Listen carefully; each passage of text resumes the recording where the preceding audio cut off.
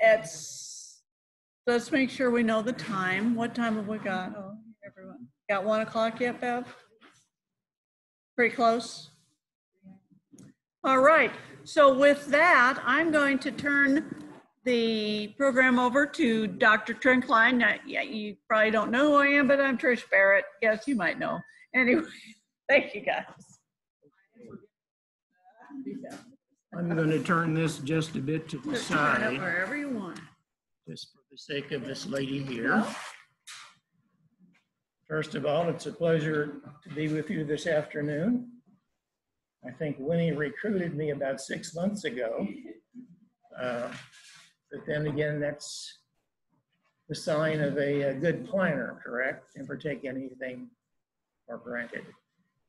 Uh, Not terribly sure if she was at the presentation in Jefferson City a couple of years ago that I gave similar to this, but she asked me to address the title, so I assume she must have seen it somehow, houseplants and the benefits they bring.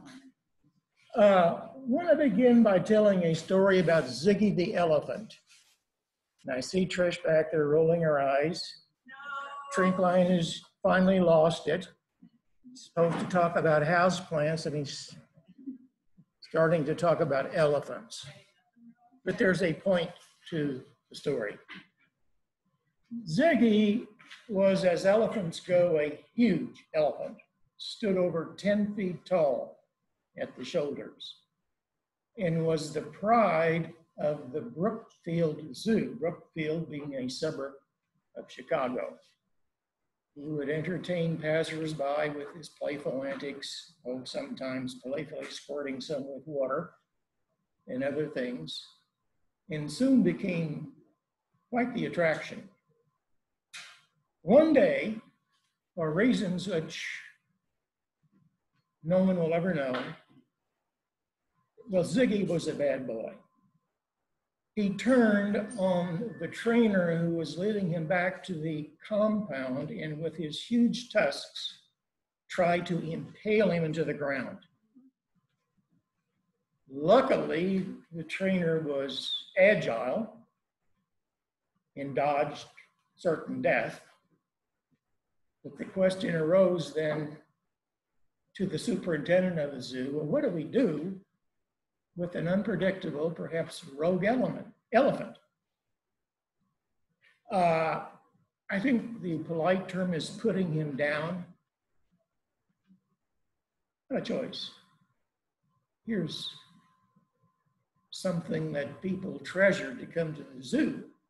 If it ever leaked out that we euthanized Ziggy, there goes our support. So they decided to put Ziggy into the inner confines of the elephant compound, an inner sanctum that had only a little beam of light coming through a tiny, tiny window near the ceiling. There they chained Ziggy, four legs to the wall. And for the next 20 years, he stood there, rattling his chains, shifting from side to side to side to side. Well, the school children of the greater Chicago area find out about, found out about Ziggy's plight. Uh, many of them probably had never seen him 20 years, but nonetheless, an elephant, grand animal. And they decided that's no way for an elephant to be treated.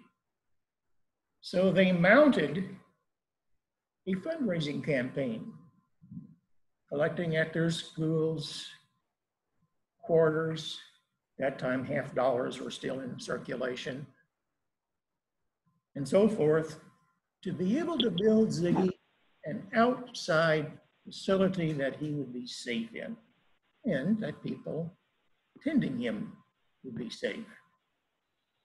Well, sure enough, before many years passed, the funds were raised and the compound was built. The big day arrived to introduce Ziggy to his new outdoor playground. The mayor was there, of course, the superintendent of the zoo, and a suitable contingency of school children from the greater Chicago area. The elephant trainer led Ziggy to the door of that new playground. Ziggy took one look, turned around, and went back into his nearly lightless room. And there he stayed for the rest of his life, shifting from side to side to side. The moral of the story is once we lose contact with nature, there's something within us that really dies. And we know as gardeners, the therapeutic, I'm going to tell you a little bit more about that in just a second. But nonetheless, someone once said agriculture made life possible, horticulture makes it worthwhile. And indeed, plants in your presence be they outdoors in your garden during the summer, or be they houseplants indoors during the remainder of the growing season, do add to your life. A little bit of a presentation overview. Talk about the role of plants or the importance of plants in our lives. What it takes to hopefully keep an interior plant alive and happy. And then what I call plant portraits. These are some plants that I picked out that are some of them easier than others, but nonetheless very attractive interior houseplants, okay? Benefits from plants. Plants fill a psychological need. In the case of Ziggy, and yes, elephants can think, they kept him in touch with reality, with nature. And indeed, we humans are nurturers, and we have a need to take care of things. That need is met younger by parents taking care of children. I guess to a certain extent, younger people also benefit from taking care of plants, but especially elderly, because they're nurturing something that needs their care. Anyone in the uh, audience related to an architect or perhaps an architect yourself? Good. Heaven forbid that we criticize an architect's design. But to me, that wall is very stark by itself. The addition of plants enhances the environment by, in this case, breaking up what is, I'll say it, an unpleasant view. And there are other things that plants do architecturally speaking, they control the flow of traffic, uh, they block noise, things like this. And this is why you more and more see them in malls, uh, shopping centers, and so forth. And they provide for a satisfying hobby. Uh, what's the difference between a hobby and an avocation? An avocation is a hobby that's gotten out of hand and probably is costing us a bit more than we had really thought.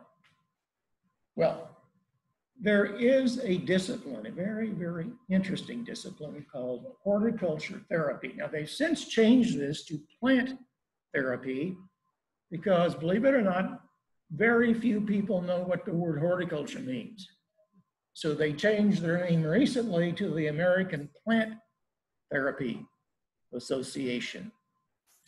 This movement was spawned by Kansas State University and Clemson University decades ago. And the movement was spawned by the thought, well, we know that people respond positively to plants. Well, let's just find out what some of those responses are. And hence, how can we use that relationship between people and plants in a therapeutic manner? More and more, back in the day, they were called old folks home. Today, the political correct term is called senior living center, right? But nonetheless, you will find a lot of senior living centers have gardening activities outdoors during the summer, perhaps indoors during the winter. Again, the need to nurture. Sorry. During those sessions, there is a goodly amount of socialization that goes on, and we, we know, know that we need social interaction and so forth. So this goes hand in glove with the thought of plant related therapy.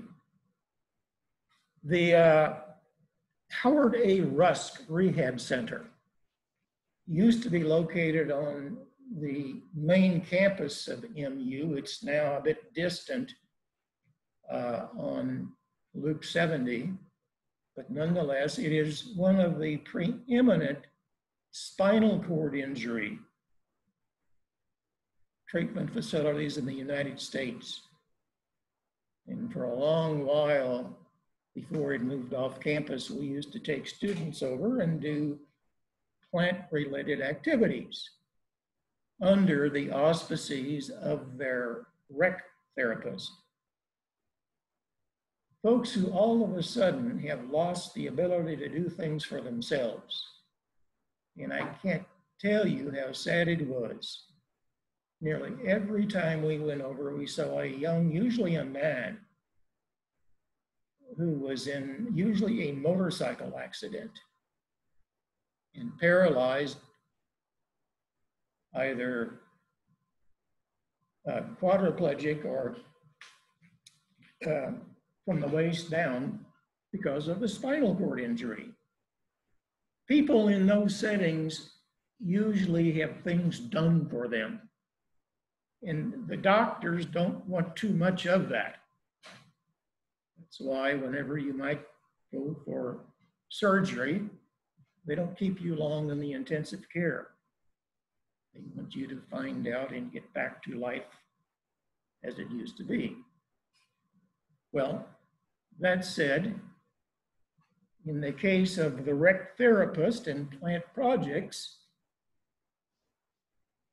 uh, I'll use the term force the folks to participate in these. They didn't have to, but if they didn't, they just sat in their chairs and watched others because they could not stay in the room. Always amazing to me, there usually were, and again, men who, I, I don't want to fool with those plants or flowers. But after a couple of 10 minutes, where they were sitting around, they kind of warmed up to the idea this might be fun. Before long, they were right into the thick of things. Again, allowing people to feel enabled that have become somewhat unabled. So, benefits. Kansas State University has a graduate program. By the way, since we don't have one plant therapy at MU, we have a reciprocity agreement that our students interested from Missouri can go to K-State without paying out-of-state tuition. And they can come to Missouri from Kansas to take, what, forestry? There aren't any trees in Kansas, so probably they'll have a forestry department, so forth.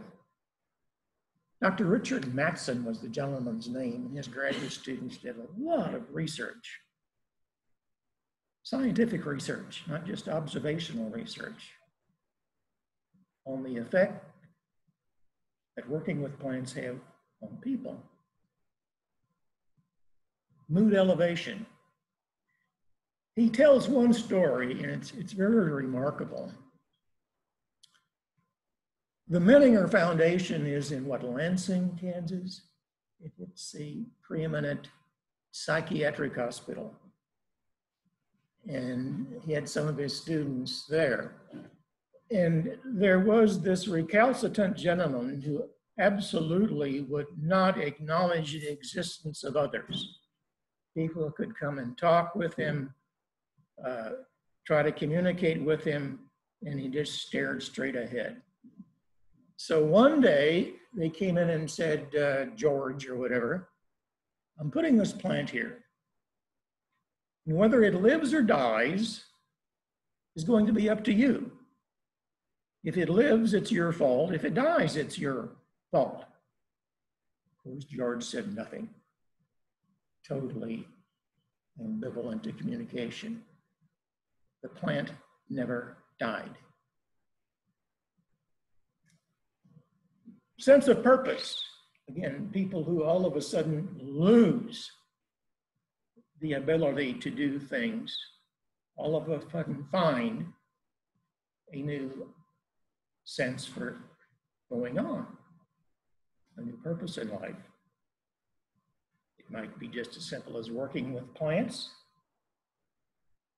or those who perhaps are a little bit more advanced it might be the development of something that they can use in their career. There also are plant therapy programs in penal institutions. We had a young man who had a project at the St. Louis County Jail in Chesterfield, Missouri. That was really before Chesterfield sprawled out of St. Louis area. But his was more of an occupational therapy where he taught inmates how to grow woody ornamental plants and hopefully be able to be employed gainfully after release in the nursery industry, occupational therapy. It has been proven time and time again that working with plants decreases your blood pressure.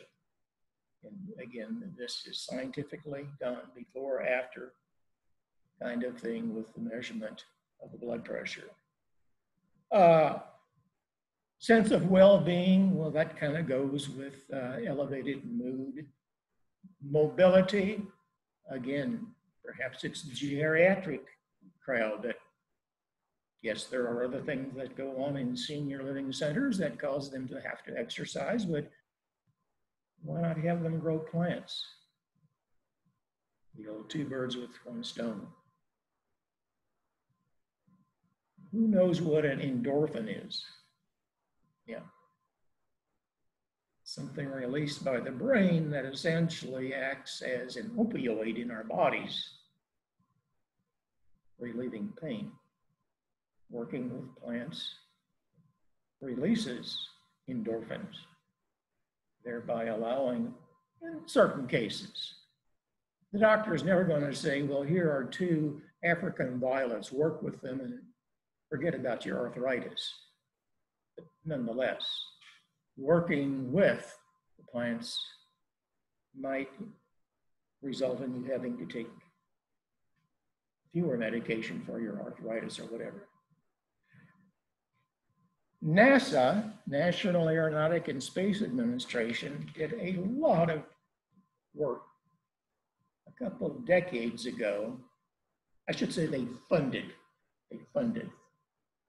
The work was actually done at North Carolina State University about the plant's ability to purify the air. Why would NASA want to know if plants can purify the air? Now, mind you, this was back in the 70s. Today, how many people have signed up for what undoubtedly will be a one way trip to Mars? Yeah, thousands. Long term space travel in a small capsule, it's going to get a bit rank, correct? How can plants help with regard to creating a renewable system. We know that plants give off oxygen, but we also know that plants can remove impurities from the air. Have you heard of the sick building syndrome? The last incident of this I remember was when the Harry S. Truman State Office Building in Jefferson City was remodeled. And all of a sudden, numbers of people working in the building reported symptoms such as this dizzy, nauseated, just a general feeling of ill health, so forth. At that time, they traced the sick building syndrome to uh, glues that had been used to put down carpeting, perhaps paints that hadn't totally dried, and so forth, causing the air inside to, frankly, be toxic, polluted. And indeed, plants can cure the sick building syndrome. Now, mind you, they don't do this for the good of mankind. Take it on the chin for those humans. They do this inadvertently as they take in carbon dioxide to photosynthesize. Well, everything in the air with carbon dioxide also comes in. And certain plants have a greater ability to detoxify those things, putting them into solution within their tissues than others. One of the, one of the champions, if you will, would be snake plant, Sansevieria. And there are others. They identified about 10 species that are very, very good at scrubbing the air. Well, additionally, they found that plants may increase the humidity of the home. There's a couple of reasons for that.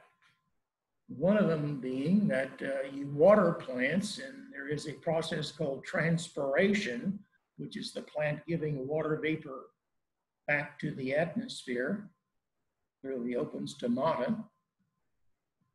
And there might be some evaporation of water from the surface of the growing medium, what have you.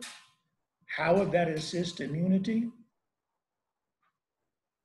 Know that winter is the primary flu season, except for this year, because that's the time of the year, yes, we're more close proximity to one another, but the relative humidity is lower.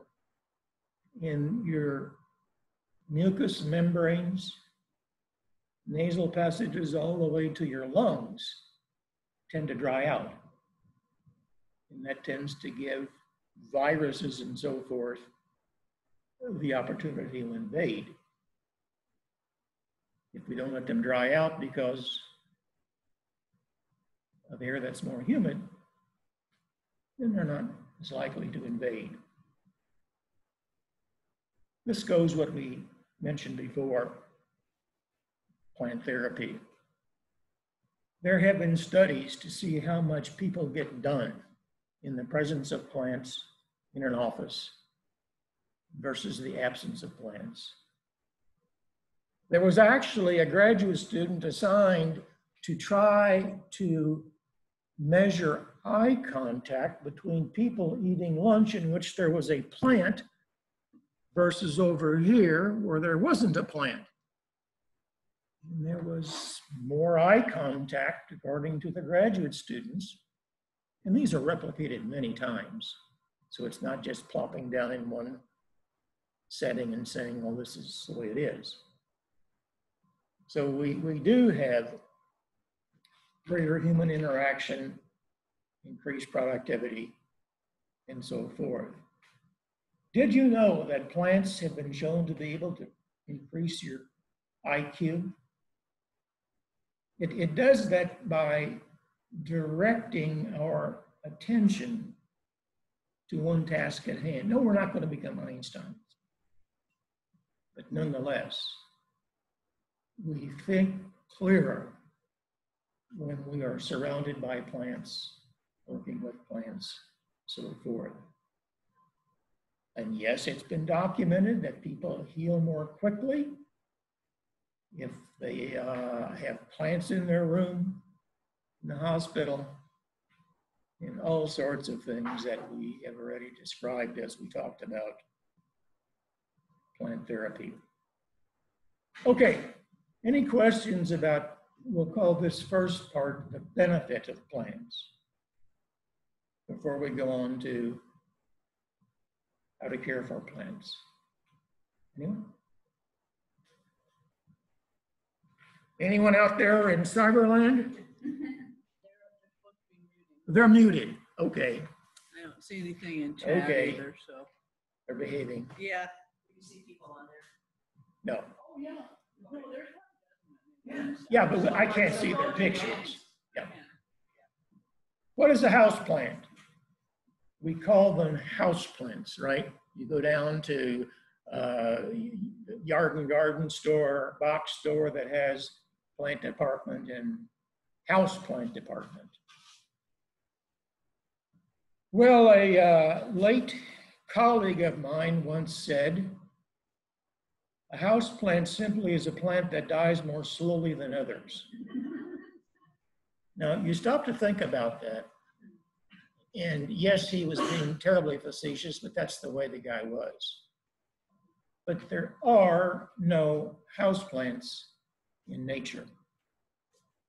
We have gone out in nature and selected plants that we think will put up with the environment in an average home, mall, office building, what have you.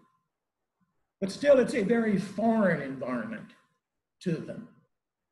And many of them, not all, but many of them are in a very gradual state of decline from the time we get them in until, frankly, the time it's necessary to replace them. And That might depend a little bit upon if you're the owner of a shopping center and you have this huge tropical interior plantscape, we call it interior plantscape. You want that to look good at all times so people can enjoy it and hopefully make another reason to come into your mall. So you might switch out plants a lot more quickly than would those of us at home who have kind of grown semi-attached to plants and hate to throw them away. But again, we are trying to create conditions that will allow certain plants, most of them being tropical in nature, understory. This is a Brazilian rainforest. Understory plants really get uh, the leftover of the leftover light. Upper story plants, direct. Mid-tier, the remainder of the direct. Floor, remainder of the remainder of the direct. Okay, first thing is light. And uh, I'll give you the same capsule sermon that I give all students in my classes. Light is life to a plant. Light is the reason plants can grow. Plants are the reason that we can sustain ourselves. So without light as a source of energy, we don't get this magical equation of the conversion of carbon dioxide and water the energy from light in the presence of chlorophyll to a carbohydrate and, importantly, the evolution of oxygen. There is a class on campus called photosynthesis. And let me tell you, it's not for the academically faint of heart. It has a lot of biochemistry, some physics, and so forth. They spend the entire semester studying that one equation. And this is indeed a simplification of it, but nonetheless light. When it comes to, and I'll use the term house plants, okay? We look upon house plants that are able to tolerate, not thrive under necessarily, but tolerate, first of all, low light, 75 to 150 foot candles. It is said, and I think this is like an OSHA requirement, that the average office desk, there has to be 200 foot candles to pass specification. Bright enough to work by. So you get the idea. These can put up with very low light.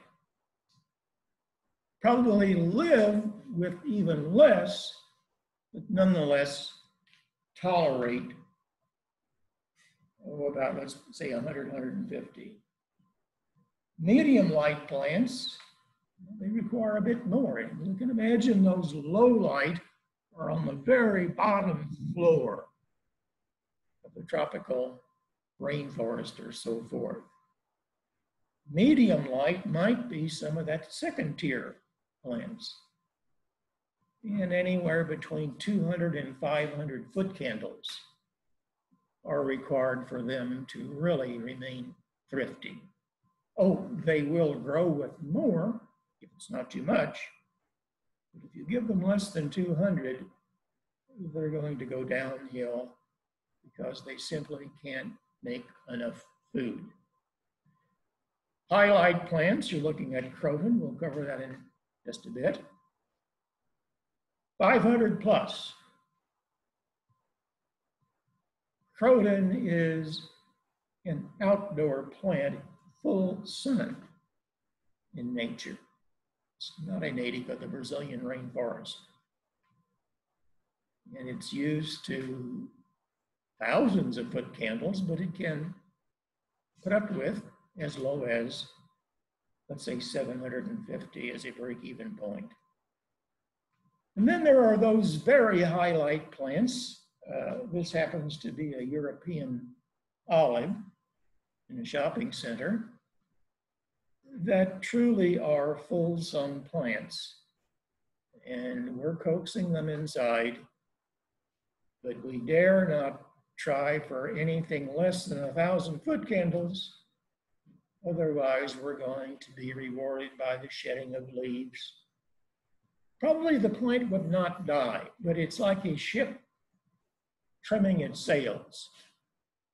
It will retain only as many leaves as there is light to keep those leaves fed.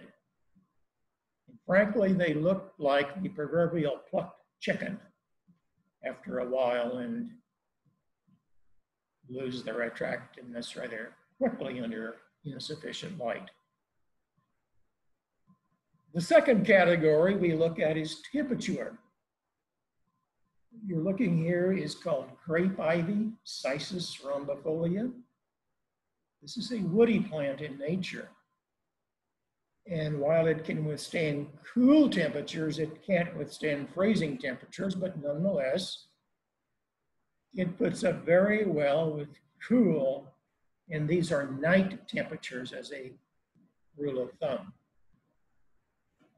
50 to 60 degree night temperature. That's cool to most plants. The temperate plants, as we look at rubber tree ficus, would be, let's give it the average of 65 degrees. That's a fairly decent temperature for humans as well. At temperatures much lower than 60, plants start to accumulate metabolites that should break down in what would be higher temperatures, and they don't break down. And you'll find that temperate as well as tropical plants can chill injure at temperatures as high as 45 degrees. We're looking here at Polyscias or Ming aralia. This is native to the Polynesian islands. Very tropical. Temperature at night rarely gets below 70, if ever, degrees. Well, we would expect those to suffer at temperatures far above freezing, and indeed they do. So temperature is very important to the selection of plants. If you're in charge of developing a plantscape for this particular mall or whatever, no, malls are open seven days a week. Scratch that. Office building. And the manager or the owner of the office building says, hey, I got to save energy. My heating bill's too high. I'm going to start turning down the temperature to 50 degrees over the weekend. If you have selected and installed in this range right here, you're going to be in trouble. Or your plants will be in trouble and then ultimately you. And that's why if we are getting into the interior plantscape business, we learn how to make contracts and how to word those contracts so that the plants we select will thrive under the conditions that is are worded in the contract. There are other office buildings, let's say, where they don't turn down the heat, but for the sake of, again, conserving energy, there might be double or airlock entries.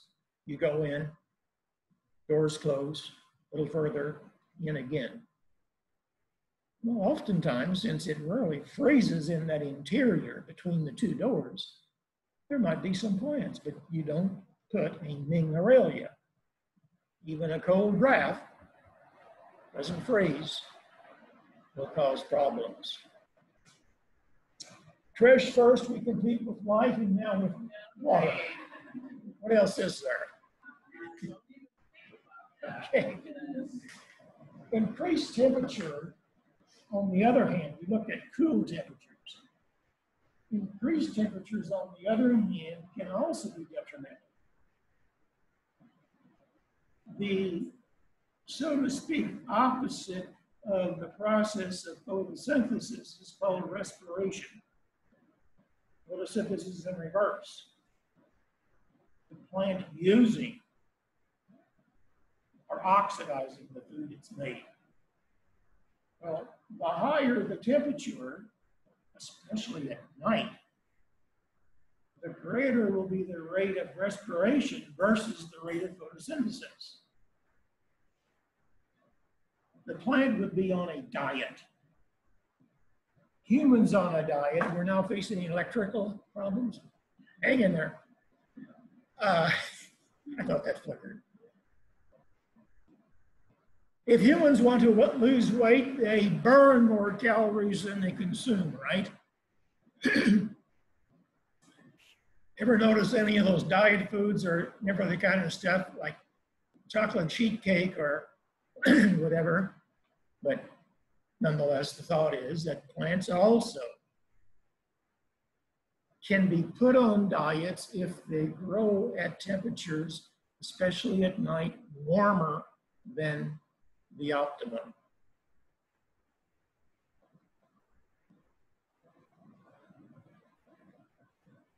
A plant is this.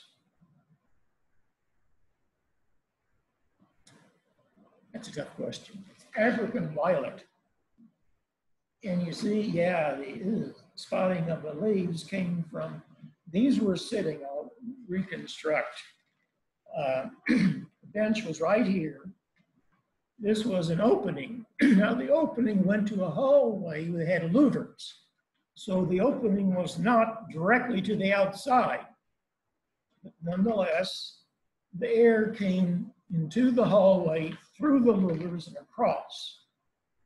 And the greenhouse manager had the habit of, and excuse the term, burping the greenhouse every evening before he left. It simply means turning on the fans, exhausting the humid air, and bringing in fresh. My poor African violets, it's ruined the entire experiment. The atmosphere that we're breathing consists primarily of oxygen.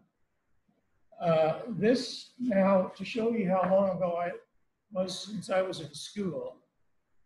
When I was in school, college, this was 340.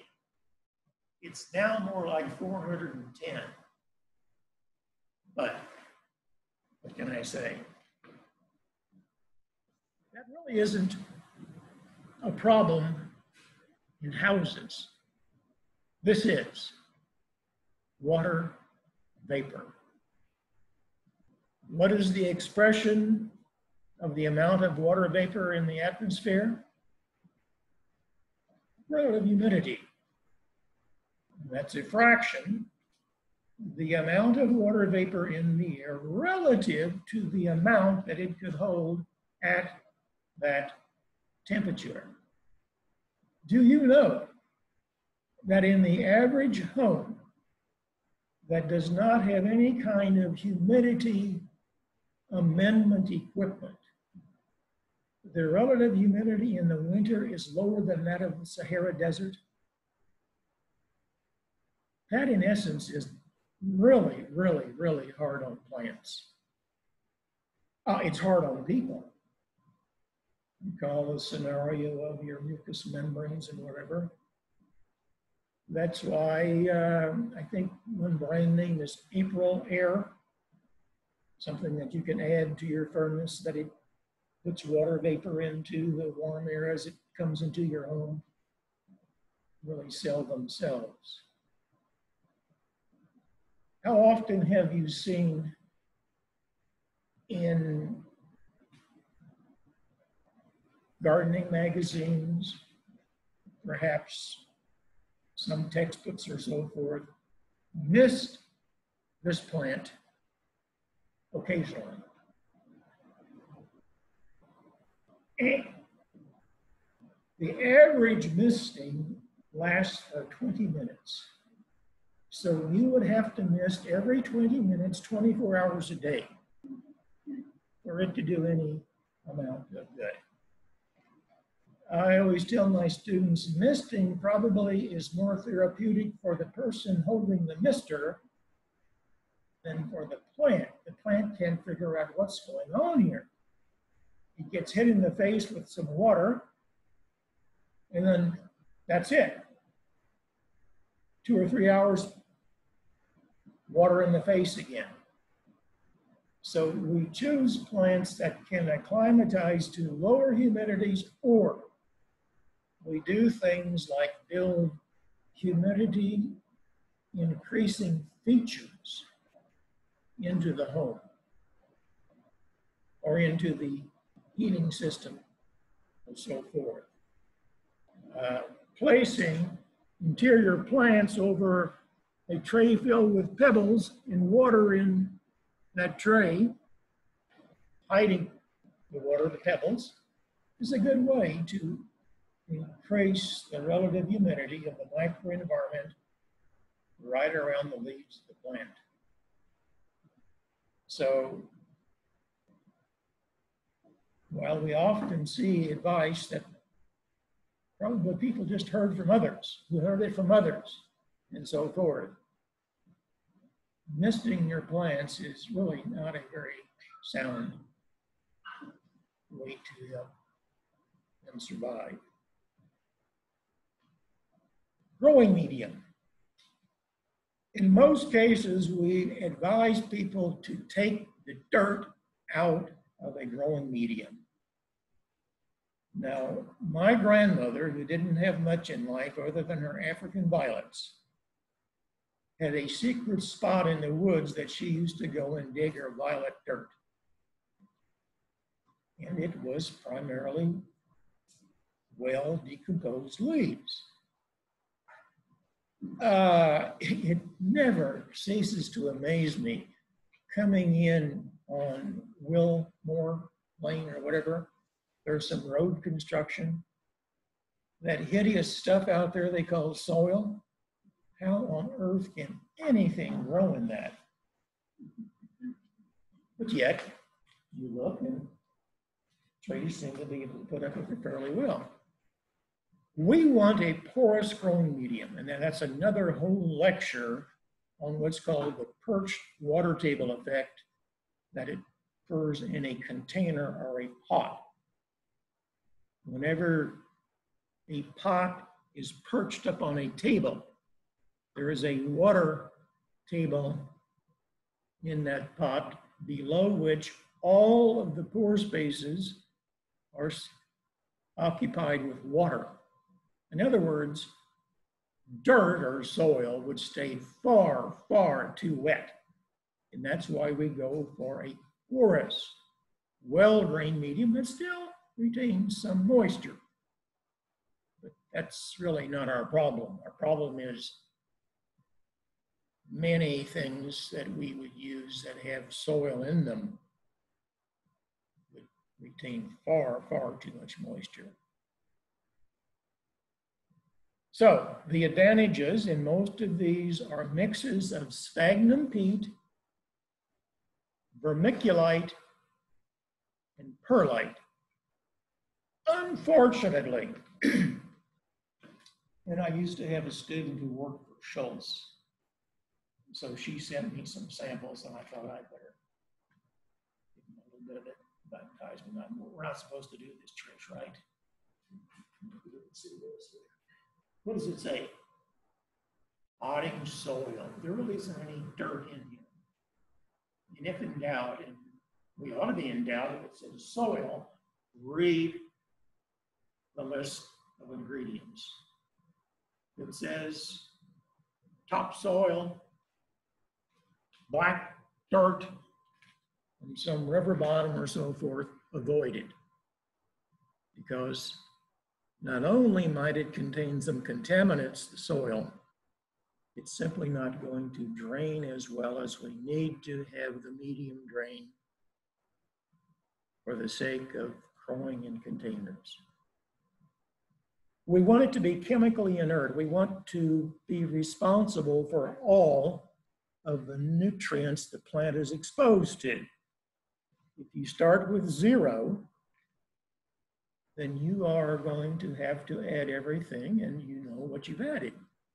Now, we don't often start with zero, but we start with near zero. And we add to that. More about that in just a second. Light and weight goes hand in glove.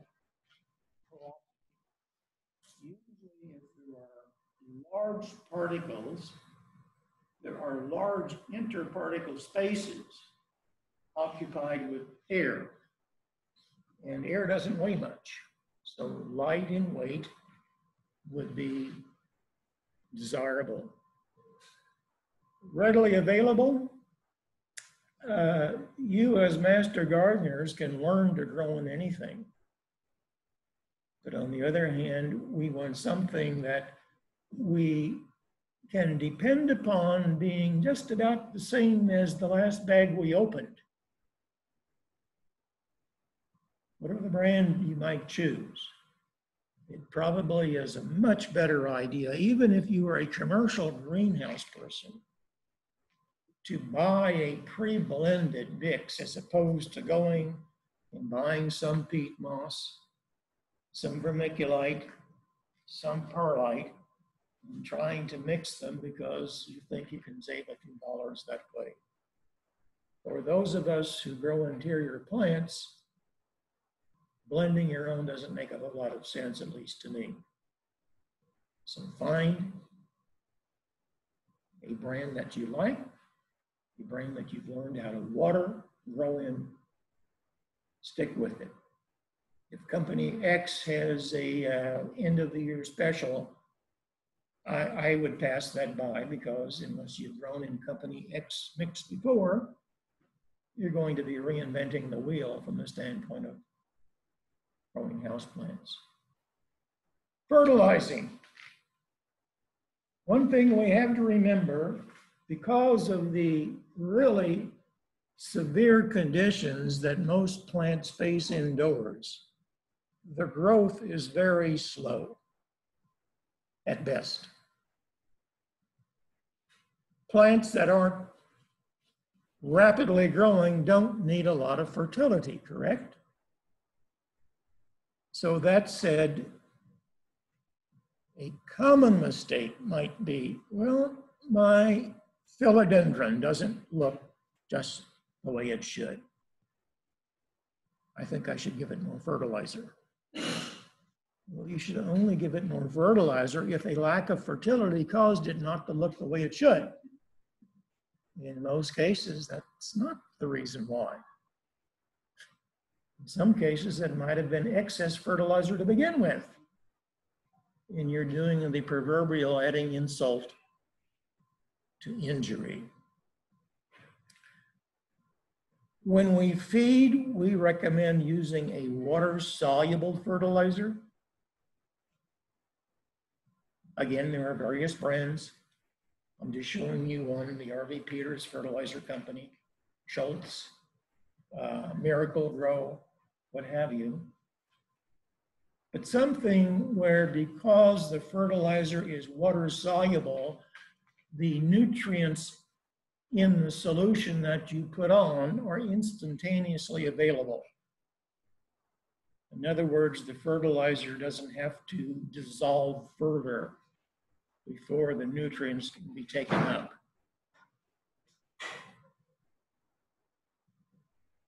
When we do this, we're adding salt. It's good salt, but it's still salt. By definition, a salt is anything that when added to water will form ions. When most of us think of salt, we think of table salt, sodium chloride. You add it to water, sodium and chlorine are ionically formed.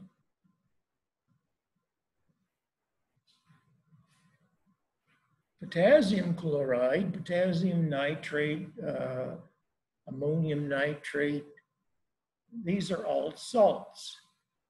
And overdoing a good thing can lead to plant, frankly, plant death.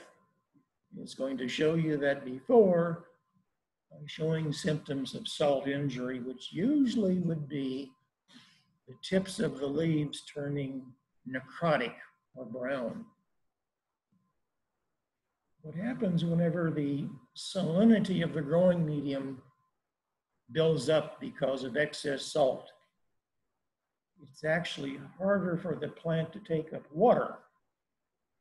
When there's a lot of salt than when there is a normal adequate amount. So the tip burn on the end of the leaves is nothing more than drought injury from the plant not being able to take up as much water as it's losing. Watering, how often have I heard the question, well, how often should I water my, you fill in the blank plant in my house? The really glib answer is, well, as often as it needs it. That's not what they want to hear you, you cannot give a cookbook description of plant care, especially pertaining to water. The quantity would depend on the size of the pot. It would depend on the ability of the growing medium to hold water. It would depend upon the plant in question. How quickly does it use water or so forth. Fact of life is that more houseplants are killed from overwatering than from any other cause. So the take home from that is, if in doubt, don't water. Today's growing media being free of soil make it a little bit harder to judge from the change of color back when soil was used as the primary component of growing media in pots. The surface turned lighter in color. Just a little bit, but not so much with peat light mixes. But in time, you will be able to judge that the plant may be from feeling of the surface of the soil, or there are these little instruments that are fairly reliable that you can put into a large pot. Let's say you're in charge of an interior landscape and you want to make sure that this expensive uh, Indian laurel fig stays nice. You put a soil moisture indicator close by. I have here water quality, and this is something that we don't often think of. Uh, never ever water with contact processed softened water. Now, there are other ways to get soft water. Uh, reverse osmosis, you've heard of, distilling, so forth. Contact process softened water substitutes very soluble salt, most often sodium chloride, to a bit lesser extent today, potassium chloride, for less soluble calcium and magnesium chlorides and sulfates. What happens is you're adding to the salinity of that water. Really, humans probably should not drink softened water. Even the chalite salt softened water. And I know it's sold because potassium is an essential element for humans. It's still salty. When it comes to plants, it's just as detrimental as would be sodium chloride. I don't think potassium does for hypertension, blood pressure in humans what sodium does. But nonetheless, never ever water house plants with contact process softened water. Good reason to have a rain barrel. It's good quality water. Many of the water systems around, and I don't know about the Lake of the Ozark area,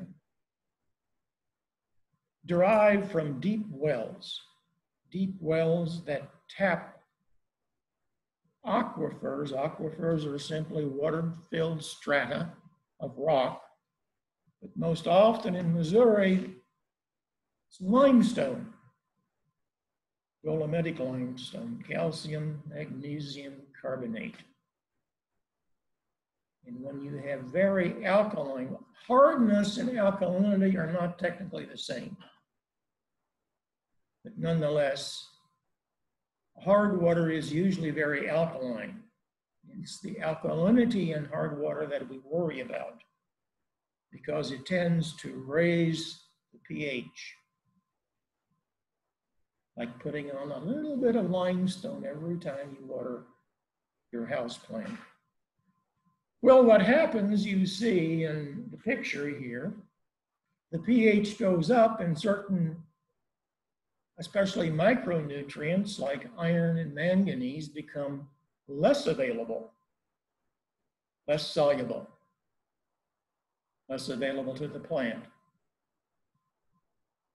And even though you're not watering with softened water, if the water is alkaline, in time, you will have added so much limestone that the iron and the manganese in the growing medium or in the fertilizer you supply to the growing medium simply aren't going to be available and not taken up. Let's go through a few plant problems and then I have a break built in, Trish.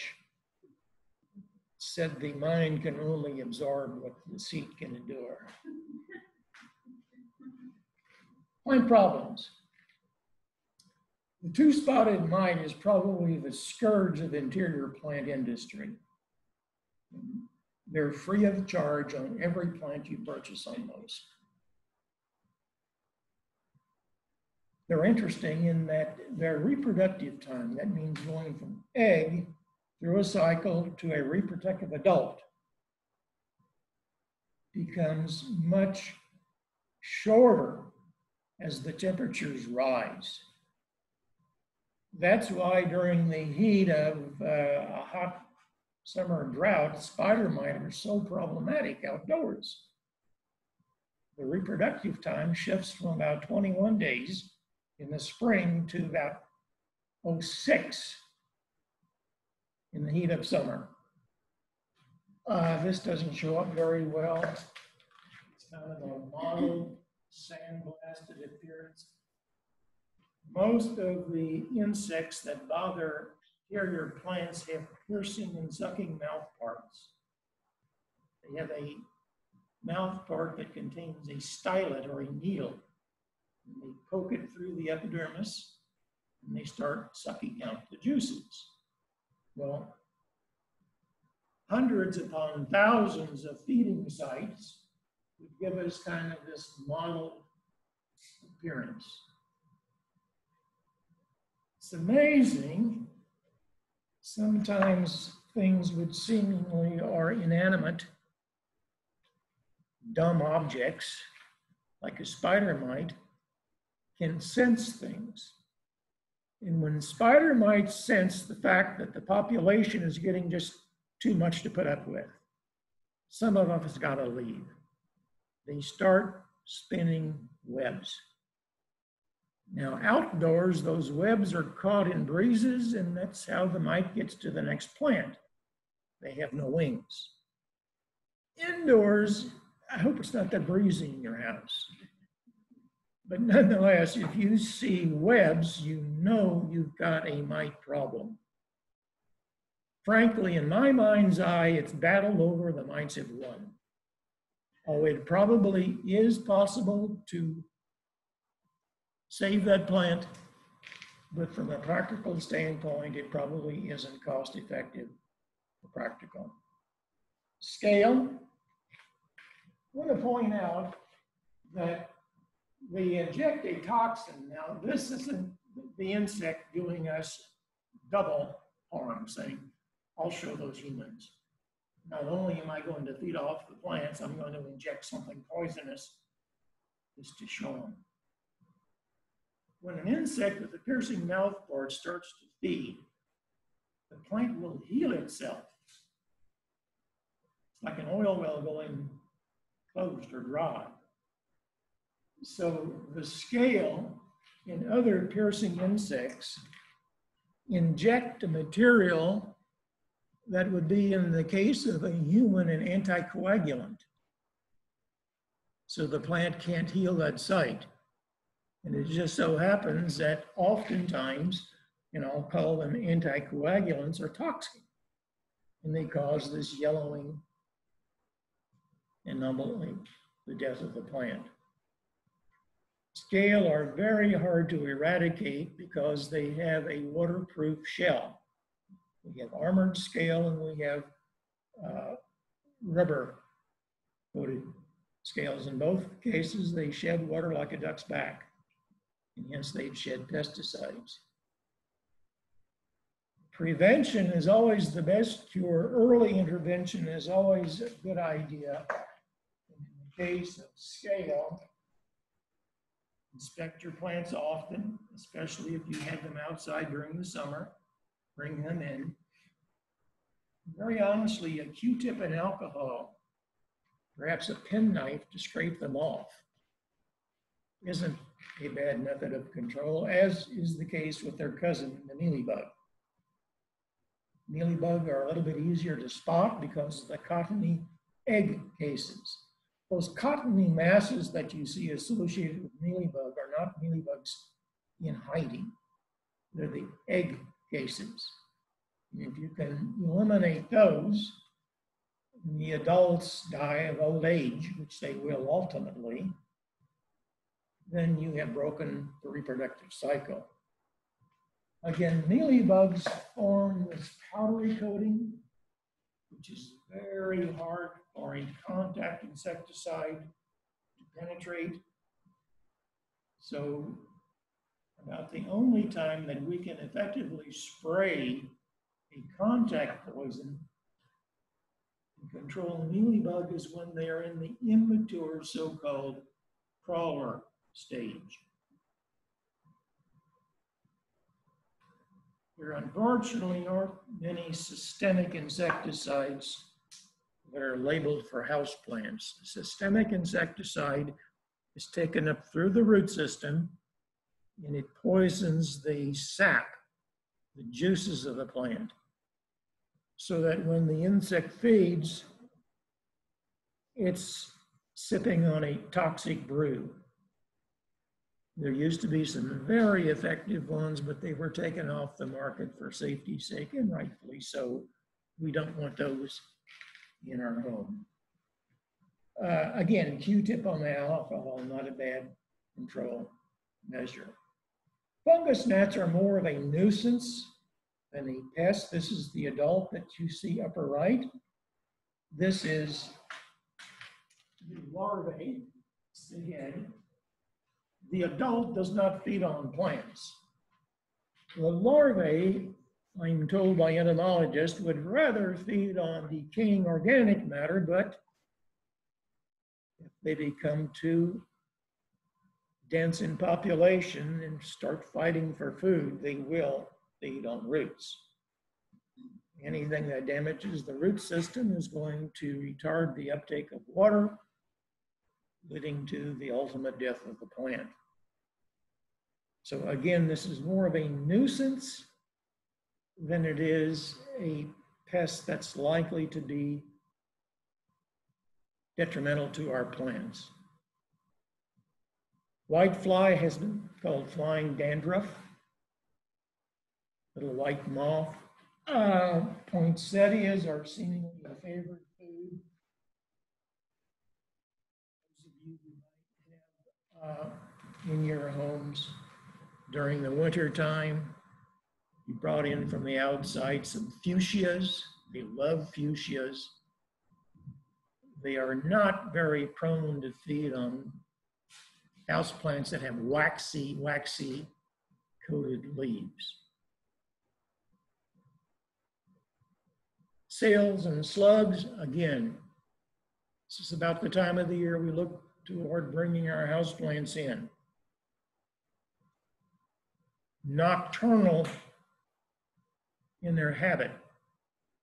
You're not going to see a snail or a slug feed during the day. What you can see though would be, yeah, right before break, the dry trail of slime that these mollusks glide on as they glide to feed. It's kind of like a silvery serpentine trail or gaping holes in the leaves of your plants. A good cure or treatment, I should say, is putting out a pan of beer. Snails and slugs both are attracted to the bran, the odor of bran. Bran is used to make malt, is used to make beer. It's the bran and they will crawl in and die, ostensibly a very happy death since it's alcohol, but whatever. Voracious feeders. One can do a lot of damage, and again, something that can easily get in from wherever you have your plant, on a patio, on a deck, what have you, at night. Start feeding, goes down during the day. You'll never know it until you get inside unless you inspect your plants thoroughly. Diseases.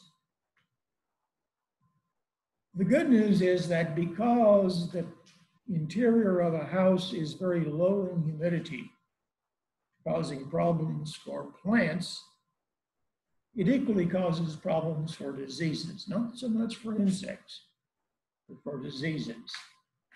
The fungal root rots sometimes called water mold, are the primary diseases that we worry about in caring for interior plants. Again, the primary cause of the death of interior plants is from overwatering. That overwatering tends to stress the root system, making it more vulnerable and likely to be attacked by these, quote, water molds, unquote. There are a few leaf spots. These usually come with the plant. They are rarely brought in from the outside by contamination unless you bring new plants into your collection.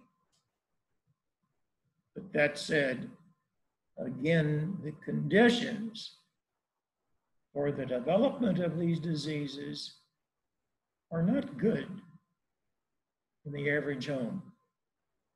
Too dry. So, disease control, prevention is the only cure. In a great sense, a sick plant is a dead plant, or a plant that you might want to discard if it's not dead. By all means, avoid overwatering. Strict sanitation. You have a watering can that you use to water your tropical interior plants, and you somehow contaminate the spigot of that can. You are inadvertently contaminating the growing medium as you water. If you have the ability, quarantine new plants for two weeks before you put them into your collection. By that time, insects will have hatched, diseases will have shown themselves. And let's not miss plants. Do we all agree that it doesn't do much of a job? Just want to show you a few environmental things that can go wrong. We call these abiotic diseases, or I rather like to refer to them as disorders. An abiotic disease is something that is not caused by a living organism. It cannot be spread as a biotic disease can from plant to plant to plant. Now, that doesn't mean that every plant in your collection might be showing it but he didn't catch it from its neighbor. Excess light. The technical term for that is solarization. If you put one of these low light tolerant plants in excessive amounts of light, it's going to look like this. Loss of chlorophyll, death of the part of the plant. This is an orchid that was subjected to cold temperatures. Again, every orchid in your collection might look like this. If the furnace went off in your greenhouse, but nonetheless, it wasn't caused by a living organism. We've already talked about plant nutrition and the big problem in Missouri would be alkaline water, which leads to the raise of the pH, which leads to tying up certain mineral elements such as iron, as you see here, or manganese. And then the other. It is very rare to see members of the Liliaceae family, example, Spathiphyllum peace lily, in Missouri that don't look like that at the edge of the leaf.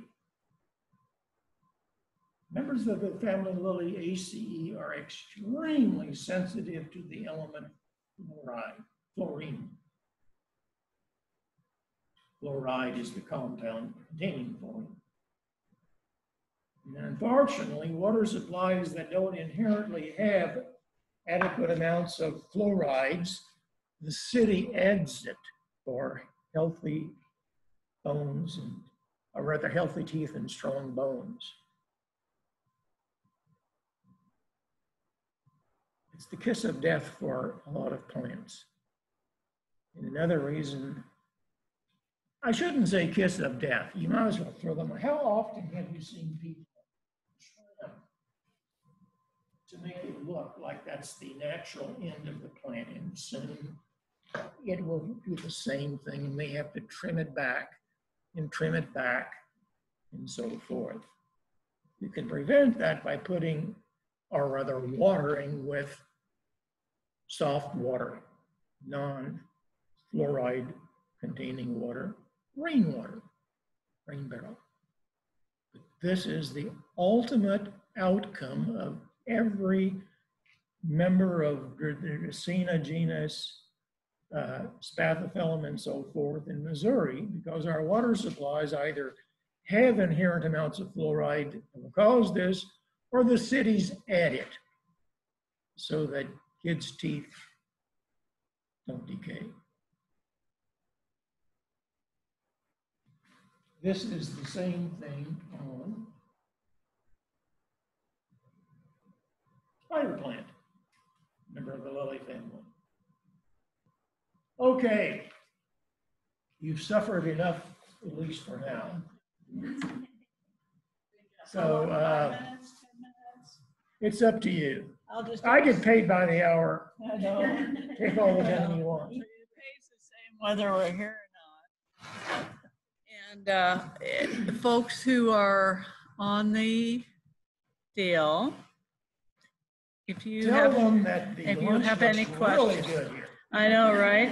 If you have any questions, go ahead and Yeah, uh, if you have questions. let us know. I actually unmuted you so that you can, um, so that you can, Question.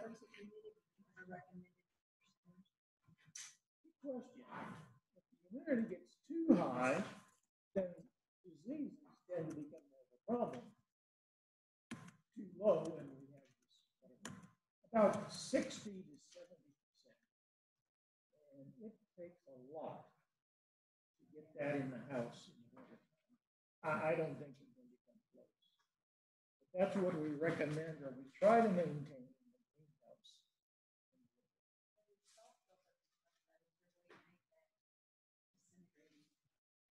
All we can do is try to keep it from building up by leaching.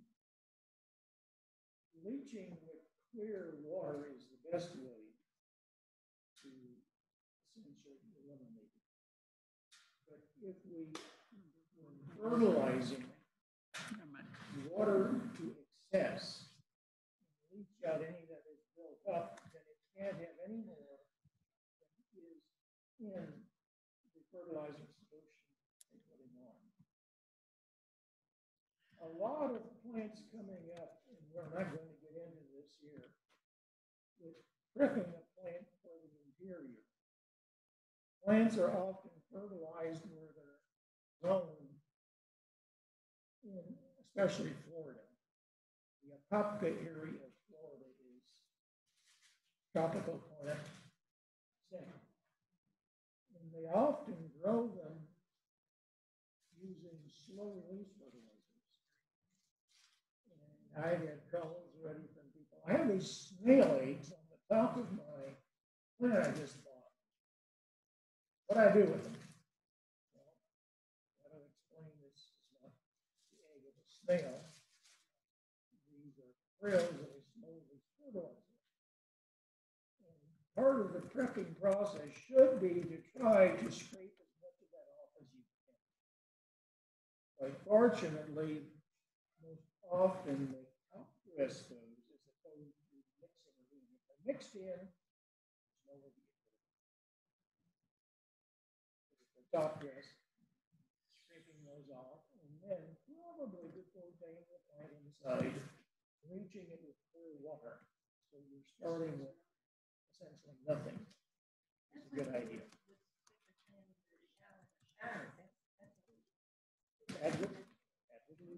correct. As long as it's not soft water. Right.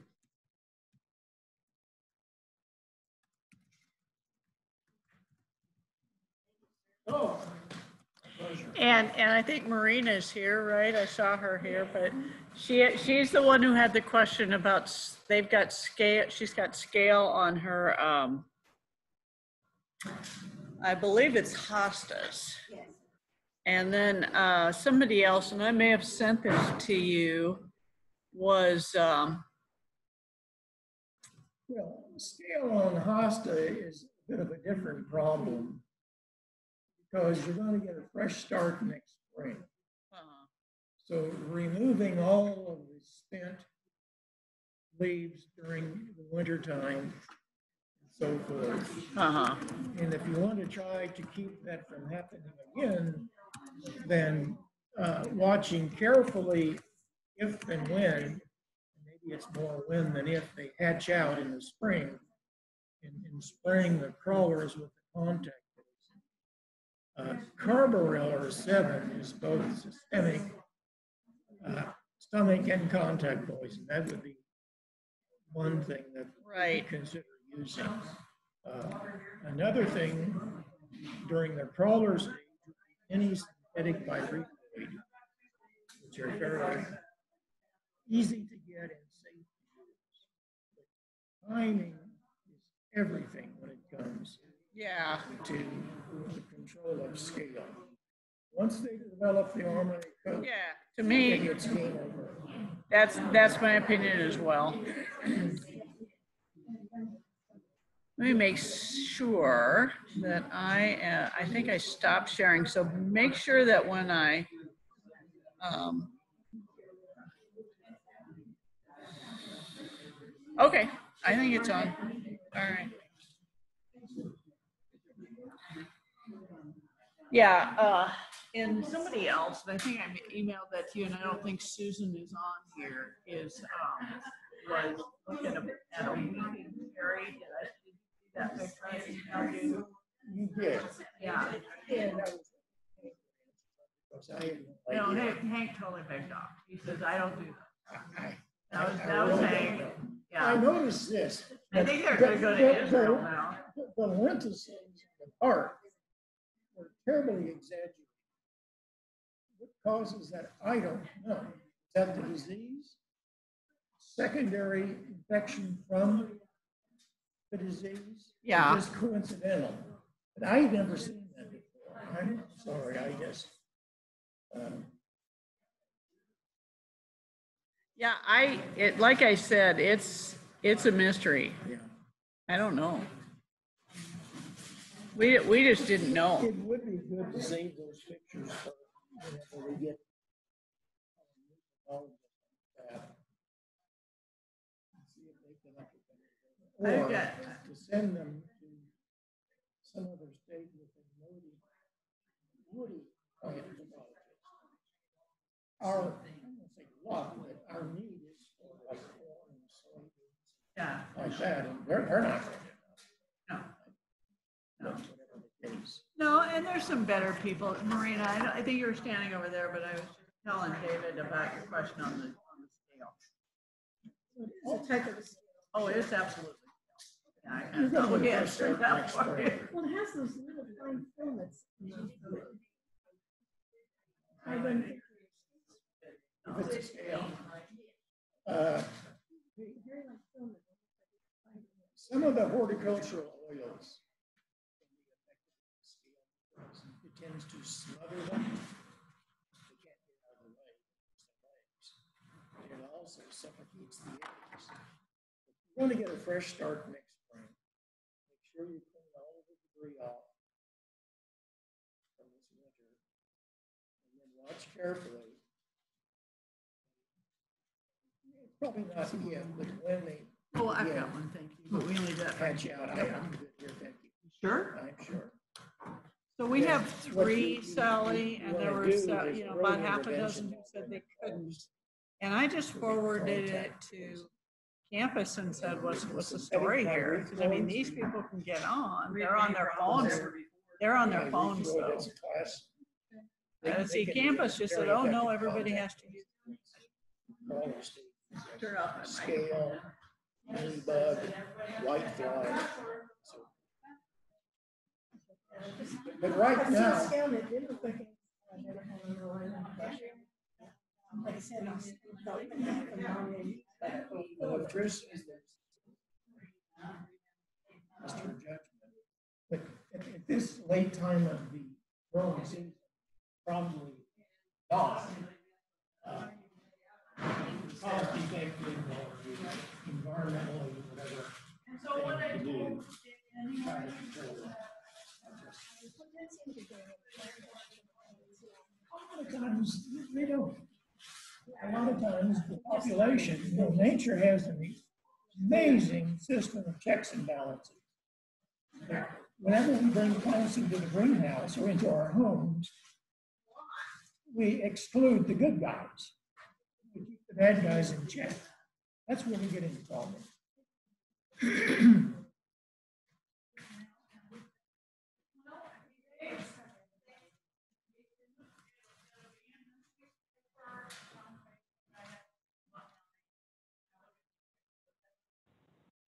Wasn't it? Hmm. Trisha, Dr. Trinklein, and look. Hmm? Probably just Trisha and Dr. Trinklein. Hello? Hello? Tricia? Tricia? Yeah, back in there. Yeah. To a degree. Hello? Hello, Dr. Trinklein? yes, I had a question for you. In in your nursery, um, the plant, the blooming plant that has pink blooms on it to the left when you go in the door, what is that? call it bougainvillea. Really? Okay, because it looks different than I have. Is it hanging? No, it was in a pot, No. I believe, it? Yeah, It it was over to the left as you go in the door. I, I'm, I'm, I'm drawing a blank if it's not a, It's Okay, that's okay. Oh, Go ahead, tell us. And then I needed to tell Tricia that Kay Weeberry is here with me. I had to come over here because she uh, to her house because she couldn't get connected on her her uh, here's Trish. tablet. I heard you. I heard you, Becky. Okay, I just need to let you know that I got I made a flying trip over here so I could get onto the meeting. Um, but anyway, she's here with me. Okay. Thank you. Okay. yep. How close are you from starting back up? I'm gonna put everybody back on mute. Whenever- whenever folks Okay, thank you, everybody. We're gonna go back on mute. And I'm gonna just make sure that we're being, we're still recording.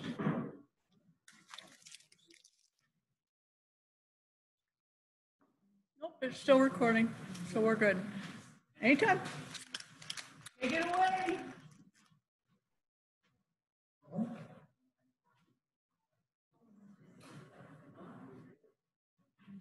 Seem to be locked up here. Oh. Well, here, We'll start over again.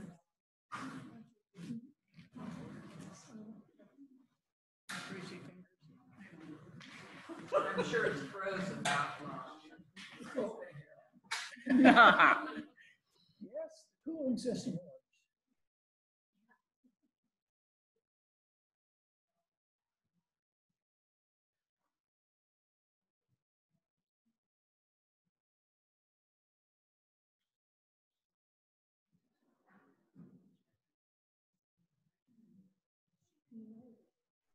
Let's try clicking now. Let's see.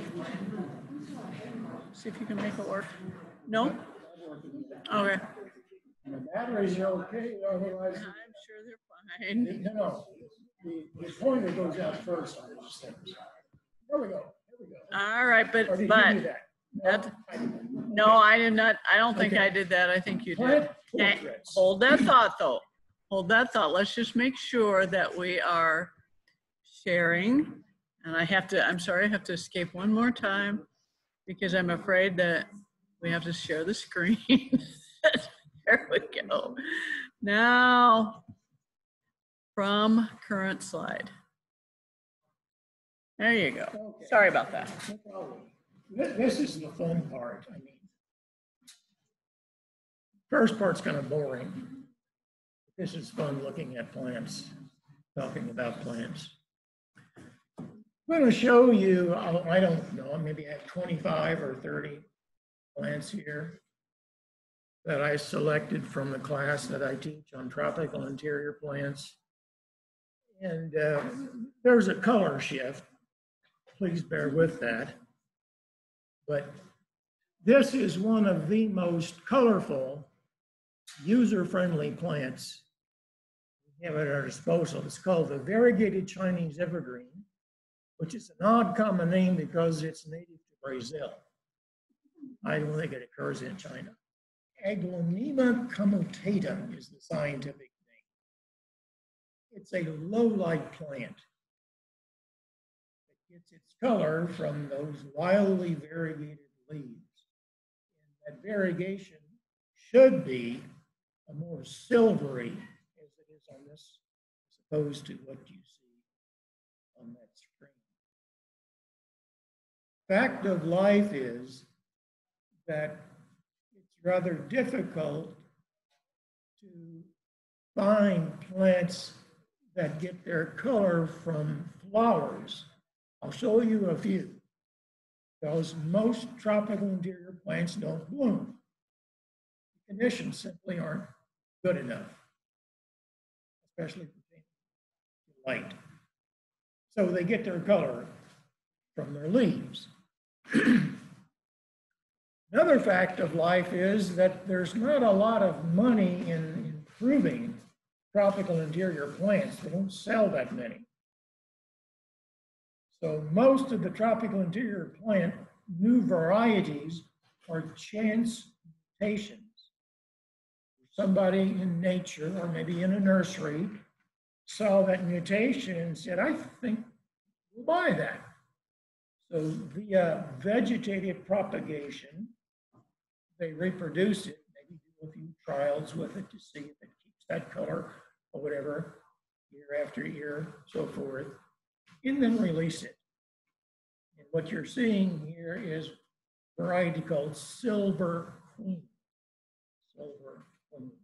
Very silvery against nice dark green foliage. Again, this is a, a low light plant, can put up with medium, but a very good low light plant.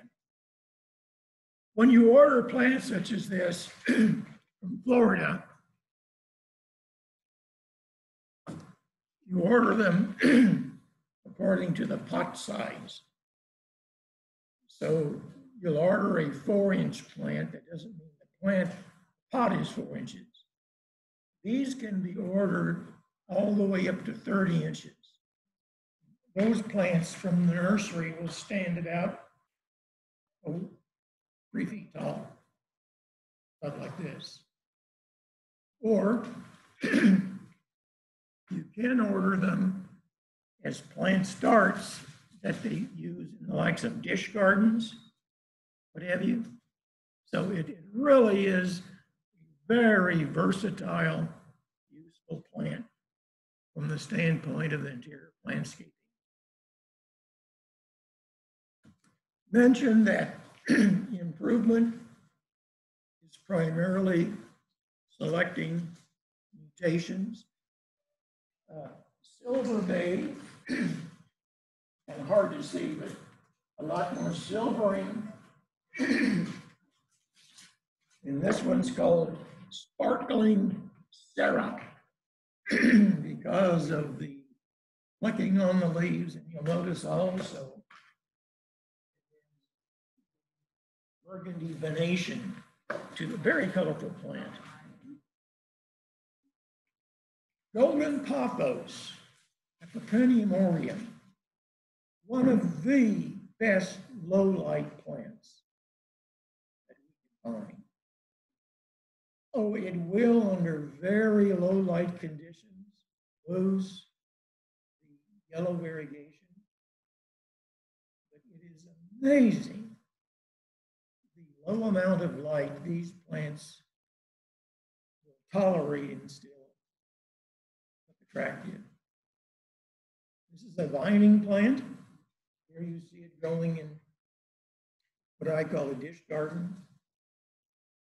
Uh, they part of a combo planter. or they can be grown on what we call a totem, which is simply support. I'll show you that here in just a second. Marble Queen is a named variety. First of all, the variegation is whiter as opposed to being golden, plus it keeps the variegation better under low light conditions. A look-alike, but not very closely related, is heartleaf philodendron. This is another excellent, excellent low light plant.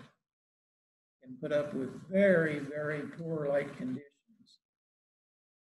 And as such, still attractive or maybe even thrive. This is what we mean when we say totem. This is Munda. Bark Osmunda is a type of fern. Fern, bark, cut something into a pot, and then these allowed to climb up. To be sure, that takes uh, moderately bright light in order to get them that size. They'll retain that attractive nature inside under these very poor light conditions.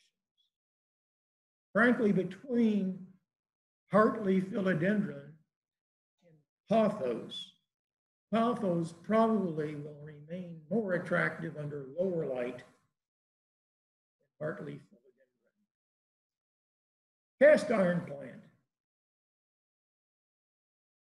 I always tell my students that if you can't grow this, I, I think I would give up. Um, you know, what SPCP, Society Prevention of Cruelty to Plants, uh, people will come and find you. Very, very resistant to low humidity, low light, you name it. Now, for that reason, you rarely see a nice specimen in an interior plant setting because it's in lousy conditions. Nothing else will grow. They had their druthers, they'd rather have medium amounts of light, but it does put up very well with low amounts of light. This has what we call a basal habit of growth, meaning that crown series of growing points right at the surface of the growing medium. Has no stem. It's simply petiole and leaf. This is a nice specimen. Slow growing, but undoubtedly was produced in Florida. Fairly old. Time is money, and with money we buy ice cream, as my grandfather used to say. So the longer it takes to produce these, the pricier they're going to be. But on the other hand, it's going to be very, very durable.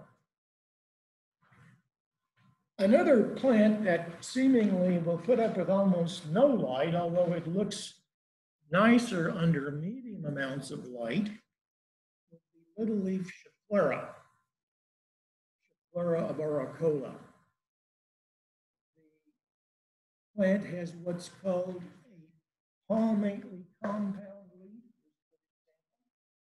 All leaflets radiate from one point of attachment like fingers from the center of your hand or palm. These two can be purchased as little two and a quarter starts or in pots up to six, eight, maybe even 10 inches in diameter. Again, they would prefer medium amounts of light. They will put up with low amounts of light.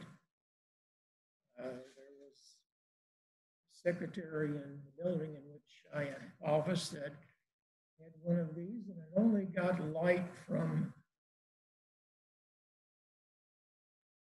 the interior lights. Probably eight in the morning until whenever the janitors, custodians left in the evening. None on the weekend. We can assure you, Exotic. I mean, it wasn't nice and bushy, but it looked exotic. We have a problem. No, I'm just gonna mute. That's okay. Um. All right, we're good. Okay. Well, Trish, we only have to reboot. Not one that's to go on. Whatever happened. What? Your brain is full. Well, mine's empty, so. I don't Here, know what here, yours is. try, try it, try it again, see if you can get the, yeah. Okay, you just have to be patient, okay. Can you imagine how slow growing something is that tolerates poor light and has almost no chlorophyll? Very slow growing, very attractive. Dazzle has more golden yellow variegation. Janine, creamy white. Again, in both cases, simply a lack of chlorophyll. Mutations undoubtedly somebody saw. I think somebody will buy that. Forget that it doesn't grow very fast and is expensive to produce. Exotic. Here we have the champion air scrubbing plant. Sansevieria uh, trifasciata. That's the species. Again, this is a plant that has no stem. We call this a basal habit of growth. There are a number of cultivars available. Uh, Black Star has a dark black green leaf with variegated edges. Trifasciata, the leaf is not quite as dark green, but again, the variegated edges. Uh, Moonshine to me just looks like a sick Sansevieria. But if you like that, it's kind of a gray looking color and, you know, beauty is in the eye of the beholder, let's face it. Probably one of the more useful large interior plants for offices and so forth, giving good substance in fairly poor light conditions is Janet Craig Dracaena. That is the cultivar. There are different Dracaena deremensis, but Janet Craig, uh, when you order one of these, you will get three plants in a large container. Because a single plant would look a bit too thin. So if you count the tips, there are three, giving us a nice full effect. Back when plants were really more in vogue than they are now, they had a list of what are called power plants, where the uh, captains of industry, the barons of Wall Street and whatever else, these were the plants they wanted in their office. This was a power plant, signifying that you have made it in life. What can you say? Compacta, this teeny tiny farm of Janet Craig. Uh, this one looks like it's perpetually iron chlorotic, but it is kind of attractive. It's, it's a chartreuse greenish yellow. It's called limelight.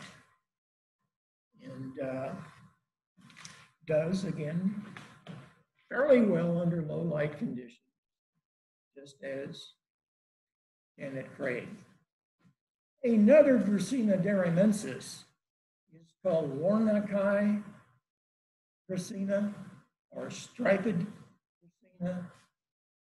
This has a stiffer leaf, although the leaf is variegated. The leaf will be more narrow and frankly more artificial looking. It's almost like it's made of plastic, but it's very, very tolerant of interior conditions, probably more so than Janet Craig. Uh, there are other types, or two other named cultivars. Most often, these are used when we talk about plant usage in the interior. We talk about dish garden plants, tabletop plants, or tub specimen. Most often, these would be tub specimen, something large sitting on the floor and uh, giving us some considerable volume. Smaller container, they might be a table plant. Some of the palms, parlor palm is a very good low light, small palm. Low light, oh, it can put up with as little as 150, 200 foot candles and still look attractive. There sometimes are cultivars of some of these species that are so popular, they take on the common name. You might have seen Neanthe Bella palm. Well, that's a parlor palm. It's the most popular cultivar. Very, very slow growing, but still, you'd expect that if it's tolerant of low light. What you see there would be a specimen that's growing in Florida in what is a 10 inch pot. But will show that in time, these develop into, again, something that can be used as a tub specimen, or in the case of the very small starts, in a dish garden. Probably anywhere in between. If you want a palm that puts up very well with a low light, that's larger and more exotic and weeping in effect, it's hard to beat the Kentia palm. And again, this is very slow growing. So these can get a bit pricey from the production fields in Florida. But it's quite elegant weeping in its appearance. There we see a nice example in an office building. This is exclusively used as a tub specimen.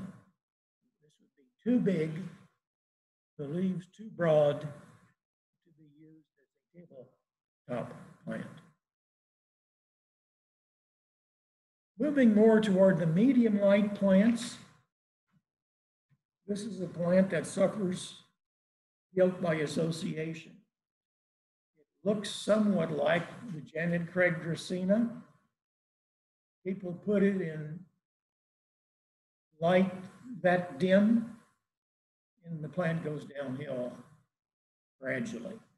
Remember the definition, a house plant is one that dies more slowly. This one will slowly die. Notice it's Dracaena fragrans as opposed to Deremensis, different species. Corn plant because that's supposed to look like the leaf of a corn. Now, when you order these, that's an example of one that has been topped, different shoots coming out from the stump.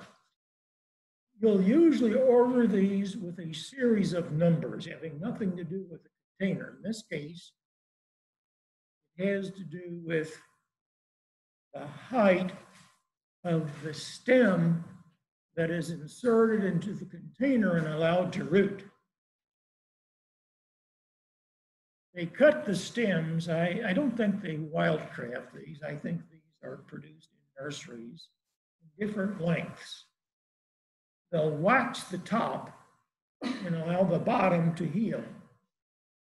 And then they'll insert them, usually, almost always, different sizes.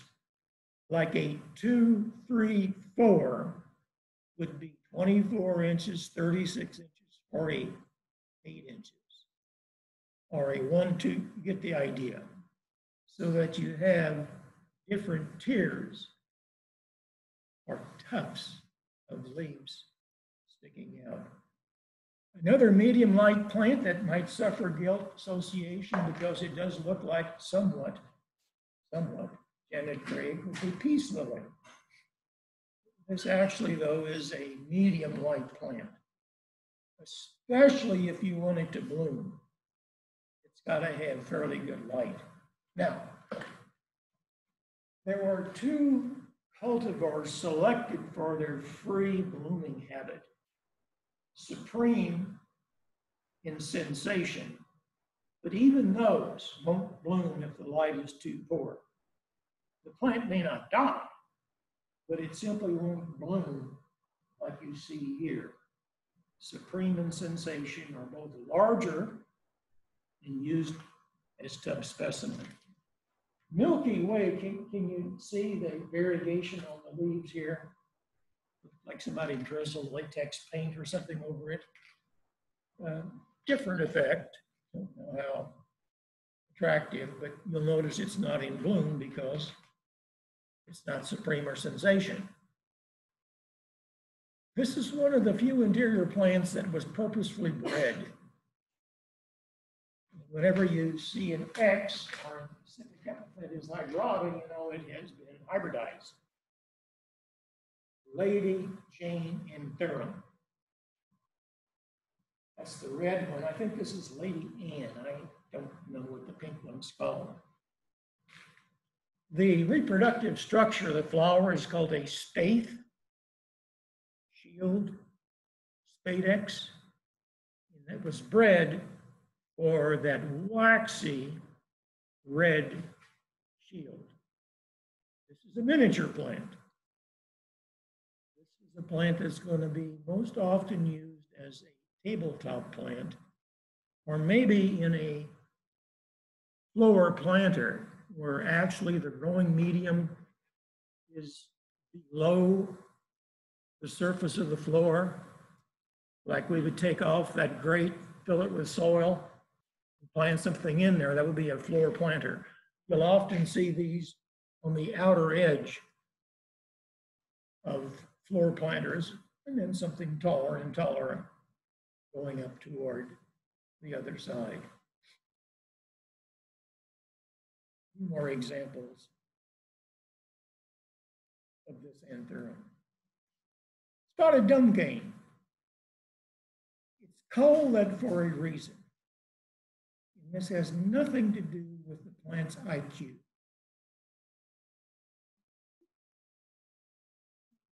Trish, it is alarming to me when I ask college age students, what does it mean if you're dumb?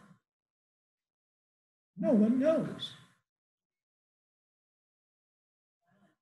That's right. I say, well, what does it mean if you're deaf? Well, I can't hear. What does it mean if you're dumb? Can't speak, deaf and dumb. It's called that, and I'll show you in just a second why it's called that. Dumb canes. Dieffenbachia maculata. This is the species. This is a very popular cultivar, Camille, which is tissue culture propagated. Are you familiar with tissue culture?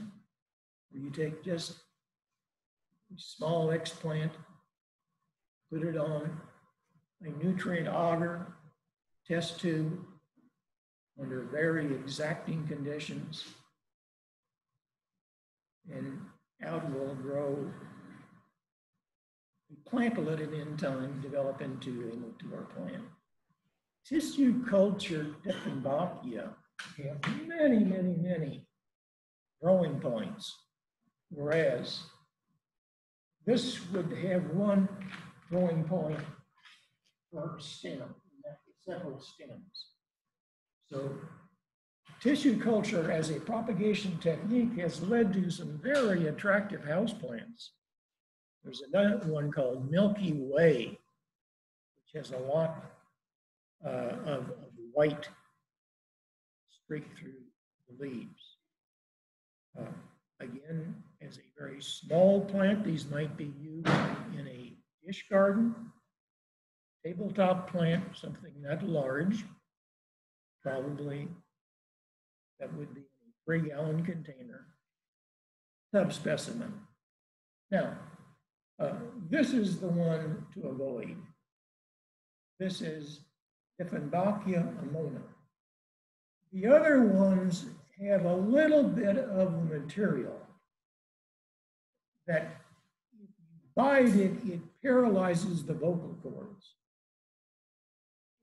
You Literally cannot talk for several days unless you seek medical attention. This is a good example of a plant you should not put in a home with children or pets. We have another, other nice ones. This is a very attractive plant. I've seen it. Used, use it in a, oh, a mall or something where people can't contact it. Bacchia amoena. Uh, Philodendron, that's a large genus, very large genus. You put the two roots together, phylos, love, dendros, tree, lover of trees. Mainly vining plants in nature. As vining plants, they have to compete with the tree on which they're vining for like. So these are usually fairly good, medium, some of them low, like the heartleaf philodendron-like conditions. This is arrowhead, no, hastatum, arrow leaf, arrow leaf. This was taken at a plant show. And the leaf naturally is not that waxy. And I just don't know, I think let Mother Nature alone. Uh, Putting all that plant shine on, but nobody asked me.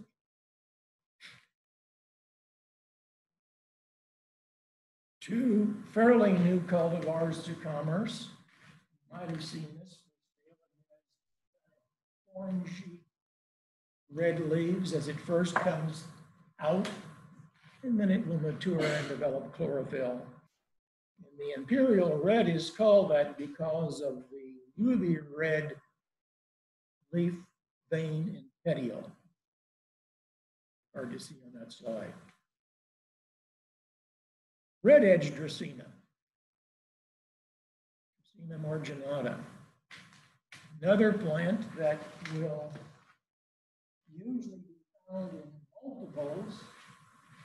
And this is a very good example of a plant having a cane type of growth.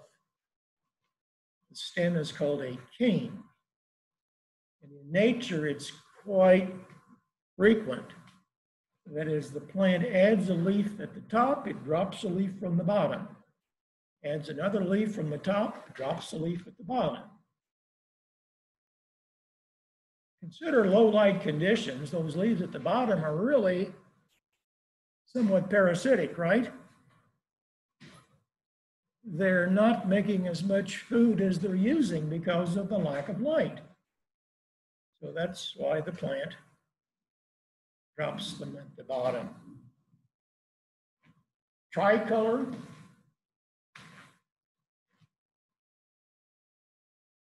Vividly variegated. Candy, it, it has more of a burgundy pink coloration to the variegation. Just two more cultivars of red edged Dracaena. Lacy tree philodendron, philodendron selloum. This too is a vine, very, very, very short internode vine. Distance between the attachment of the leaves on the stem is very tiny. Hence, it's kind of a stubby vine. To me, this is the essence you'd expect to find like a gorilla crawling out from behind there or something of a jungle, correct? Jungle effect. And you see that on a lot of movie sets and so forth. This was taken years ago. I hope it's still there. I know the Climatron is still there. But in uh, Climatron at the Missouri Botanical Gardens, where one of the biomes that they create is the tropical rainforest. Of course, Missouri Botanical Garden is big into researching how to preserve tropical rainforests. A few of the figs, now these are higher light plants. They might put up with lower light by shedding leaves. In nature, they're full sun plants, upper story.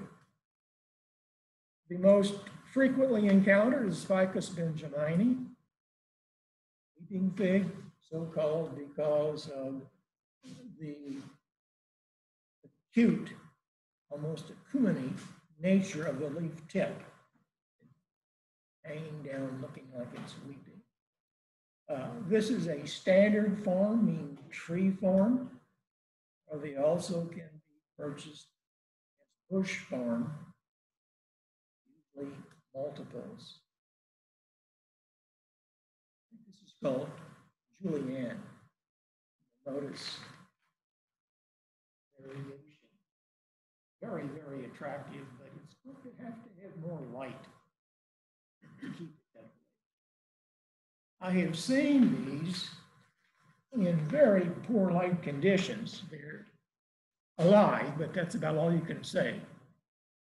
They don't have many leaves because, again, they drop the leaves until the amount of light they receive equals the amount the light can support, vice versa. Bamboo palm, we're moving into higher light. If you want a palm that probably gives you somewhat the same effect as the Kentia palm, but you have a higher light condition, the bamboo palm is an excellent, excellent choice. It belongs to the same genus, smaller palm, Chamaedorea, but on the other hand, it's much larger. These are almost always used as tub specimen because of their size. And that's a nice example of one growing in what we'll call a tub, a ceramic container. Schefflera used to belong to the genus Schefflera. That's why it's kept its common name. It's now brass yeah. Sometimes called big leaf chef. Again, the palmately compound leaves that are huge drooping. This sometimes goes by the common name of umbrella plant because it's thought that the leaves coming off looks like the ribs of an umbrella or so forth. Not raining anymore, but it's not raining any less. Like it's raining.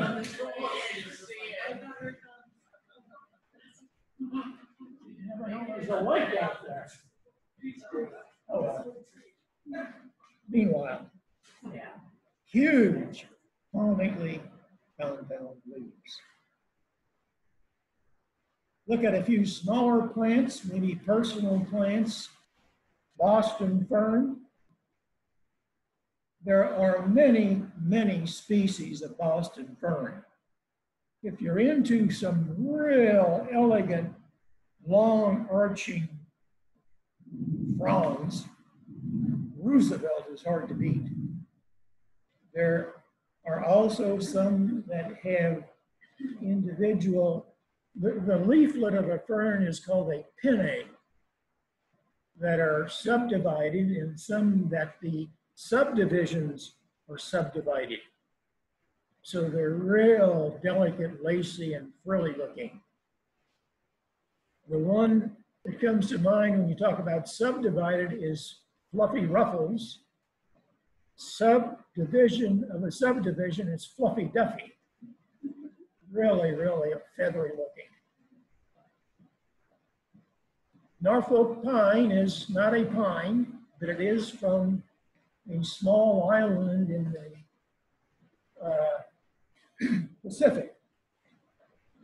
And it does make a fairly decent house plant, given enough light. Now we're getting into the higher light plants from the standpoint of them thriving. Uh, very graceful. Again, if you're trying to create more of an arboreal effect as opposed to a tropical effect, there are two, two schools of thought when you create an interior plantscape. One is, well, I can look outside and see a boreal effect during the growing season. Therefore, in the winter, I want to go to the tropics. The other school is no, people really feel a bit ill at ease if they see something inside that they're not used to outside. That would be the arboreal effect. This is very good for creating what inside would look somewhat like you might see outside. A good example here of its use as a tub specimen. Uh, most often, these are seed propagated. And you often see them, oh, usually late October, November, they call them living Christmas trees. And they're sometimes so that they're not that high and they might have a half a dozen or more seedlings in a pot to give it some substance. You could tease every one of those out if you wanted to and have that many plants, but you'd better have time on your side because they do grow rather slowly with poor light.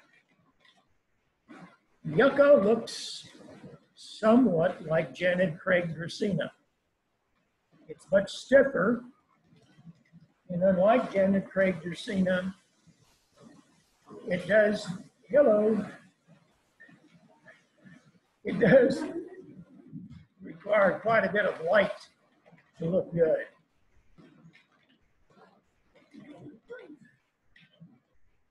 We already have shown you croton.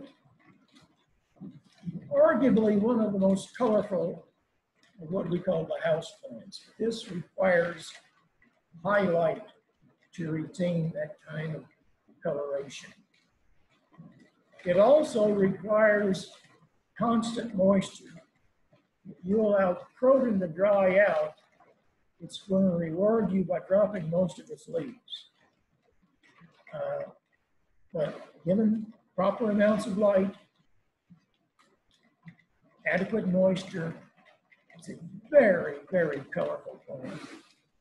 Petra is a quite popular cultivar known for the yellow venation of its colorful leaves. Another colorful plant, but a very difficult one, is the Hawaiian ti plant.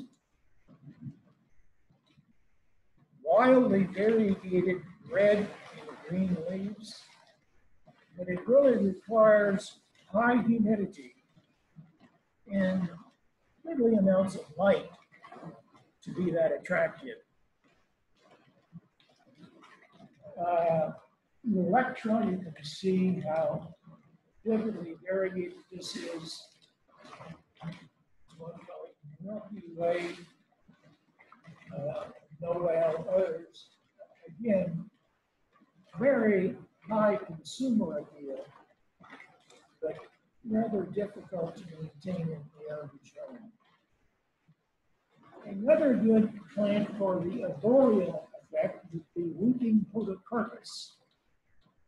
That does look somewhat, somewhat like an evergreen. In this case, it looks somewhat like hemlock.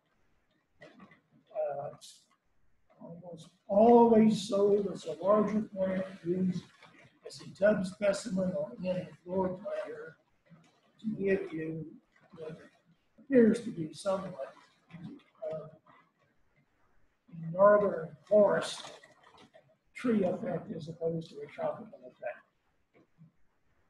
We'll look at a few personal plants. Uh, again, I put in African violet, sort of in memory of my grandmother who might have instilled in me a love of plants.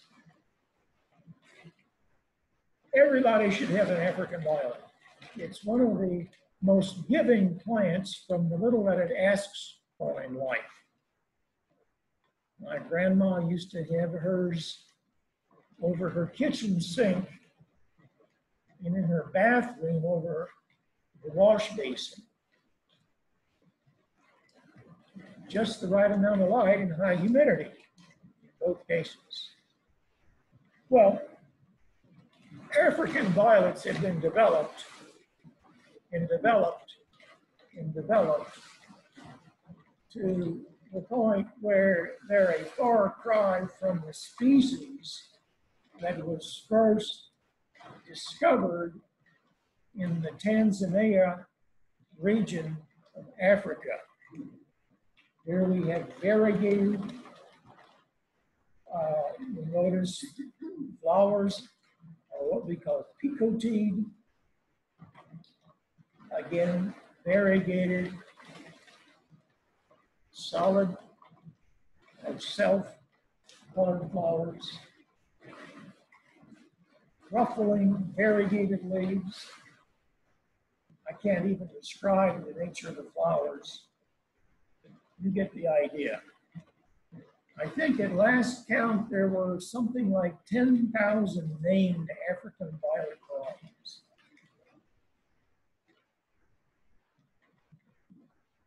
As of late, African violets have been developed to always be in bloom.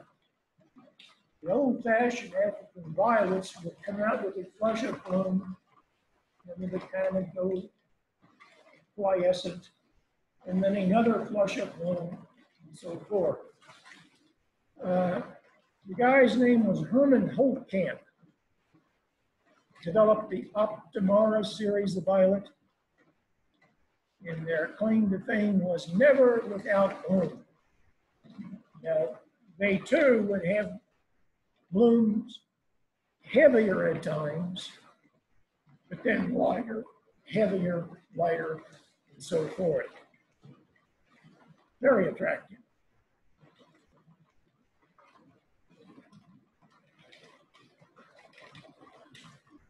Okay, a few more personal plants. Peperomia, emerald ripple. Only gets about this tall good for a terrarium, dish garden, so forth, medium amounts of light. It uh, is a native of Southeast Asia.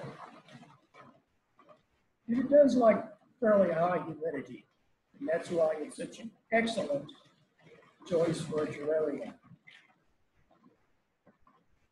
A variation of that is metallic ripple, where you have more of, call it aluminum or metallic look to the undulation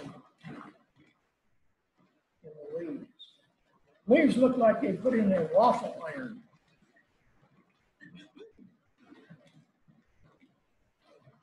Variegated oval leaf peperomia. The species itself is not unattractive, it's just that the variegated form of it looks like a miniature rubber plant. Uh, it's rather waxy leaf, so it puts up quite well with lower humidity. And it will in time get a little bit larger than its cousin, the uh, emerald ripple, but still, at best, a desktop plant most often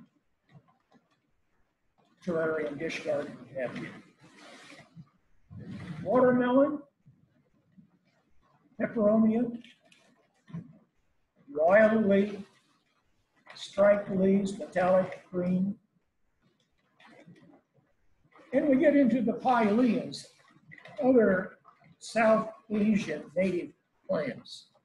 Pileas really like humidity and hence they're excellent terrarium plants You got to be a little bit careful about dish gardens unless you put them over a tray of wetted pebbles or so forth, because the humidity simply isn't high enough for them to flourish.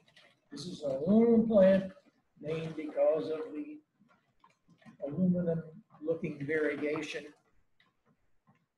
Moon Valley, deeply waffled leaves, the valleys being kind of a burgundy color, the peaks being lighter green, very ornate. The friendship plant, Spruceana, looks quite a bit like the aluminum plant, only the green is a burgundy green. Ribbon plant Dracaena, another fairly common Dracaena. We buy it more so, you know, Lucky Bamboo. That's really this plant. And They do weird things with it, like braid the stems, what have you. Uh, I call this a personal plant because it's almost always a, a desktop plant, terrarium plant, or so forth. Uh, modest amounts of light is all that it requires, but it is small. Uh, this is smaller, more fiddle leaf fig, huge leaves, if properly grown. Most often, tub specimen grown for those large extravagant leaves. Uh, Areca palm is a higher light palm that will cost you less than either the bamboo or the Kentia palm, but you've got to have adequate light for this to be attractive. It's a moderately high to high light palm. But again, if you have enough light, it gives you this tropical effect much less expensively. Now, other palms that need high light, in this case, large amounts of room. Fan palms. This is the Chinese fan palm, which again is very tropical looking. Fan palms along with uh, lacy tree philodendrons really, really give the essence of the jungle look in a movie set or so forth. Pygmy date palm, another highlight palm. This one achieving a height of maybe six feet in time under proper conditions. In time, the triangle palm might achieve 30 feet. We have some on campus in our Life Sciences Center that are in almost 20 feet. They're called triangle because the base, as the fronds shed, new added old ones, it, it forms a triangular base, very distinctly triangular. I'm going to show you a palm that you frequently find for sale during the spring of the year. That's an okay plant for your deck or patio, but don't try bringing it in. Well, unless you're not adverse to being disappointed. Because this is a highlight plant. And we don't do a very good job at all in supplying it with enough light in the average home. They're usually relatively inexpensive. I mean, Walmart, you can get these for 12 bucks. It makes a nice addition to your patio or so forth. But just treat it as any other annual and give it to someone, you know, as, as a housewarming gift. A few more ferns just to show you some of the oddities that nature sends our way. The staghorn ferns. These are called the reproductive fronds, staghorn. And these are the storage fronds where it stores nutrients and water and so forth. These are epiphytic ferns, meaning that in nature, they're in a tree limb, point of attachment crevice, and they dangle down from that and absorb the rain, so forth. So because they're growing on a tree under the leaves. They're fairly low light tolerant. And I'm kind of around different interesting plants. Episcia, the flame violet, related closely to the African violet. It uh, has both attractive foliage and it blooms very nicely. Prayer plant. There are two types of prayer plant, red veined and the regular. Both usually suffer from low humidity in the average home. Both are very attractive if properly grown. And you'll frequently find them as a part of a combination planter that in time will die because the other things take over in the planter. Silver vase is one of the bromeliads, very durable. The bromeliads are epiphytic plants. Again, in the tropics, they exist in the crevices of tree limbs, perhaps seeds being deposited there by birds or so forth. Very leathery, in this case, highly colorful leaves, and a flower that defies description as far as being exquisite. We call this the cup. The cup of a bromeliad should always be kept full of water because in nature, that's part of the way they get their moisture. Tropical rainforest. A cup will bloom only one time. And after that, it sends off offshoots that in time will bloom. But the bloom lasts a long, long time. It's quite an exquisite plant. An example. Try blushing. Do you notice how the cup is full? Cherry red new leaves. Sago palm is an ancient, ancient plant from the standpoint of taxonomy. Very durable.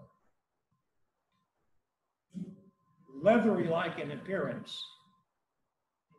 Extremely slow growing. Under good conditions, a sago palm will put on one ring of leaves a year. So you can tell how old they are by counting the tiers of leaves. So here's a tier, it's another tier, so forth, so on. Exclusively used as floor plants, tub specimen, what have you. But again, rather unique in their appearance. Somewhat stiff in appearance, but exotic. Wax plant, Hoya, called that way because of the appearance of the flower. The leaf itself looks waxy. This is a variegated type. It's a vining plant. It makes a very attractive hanging basket if you have enough light or trained on a totem. A few succulents, fern plant, aloe vera,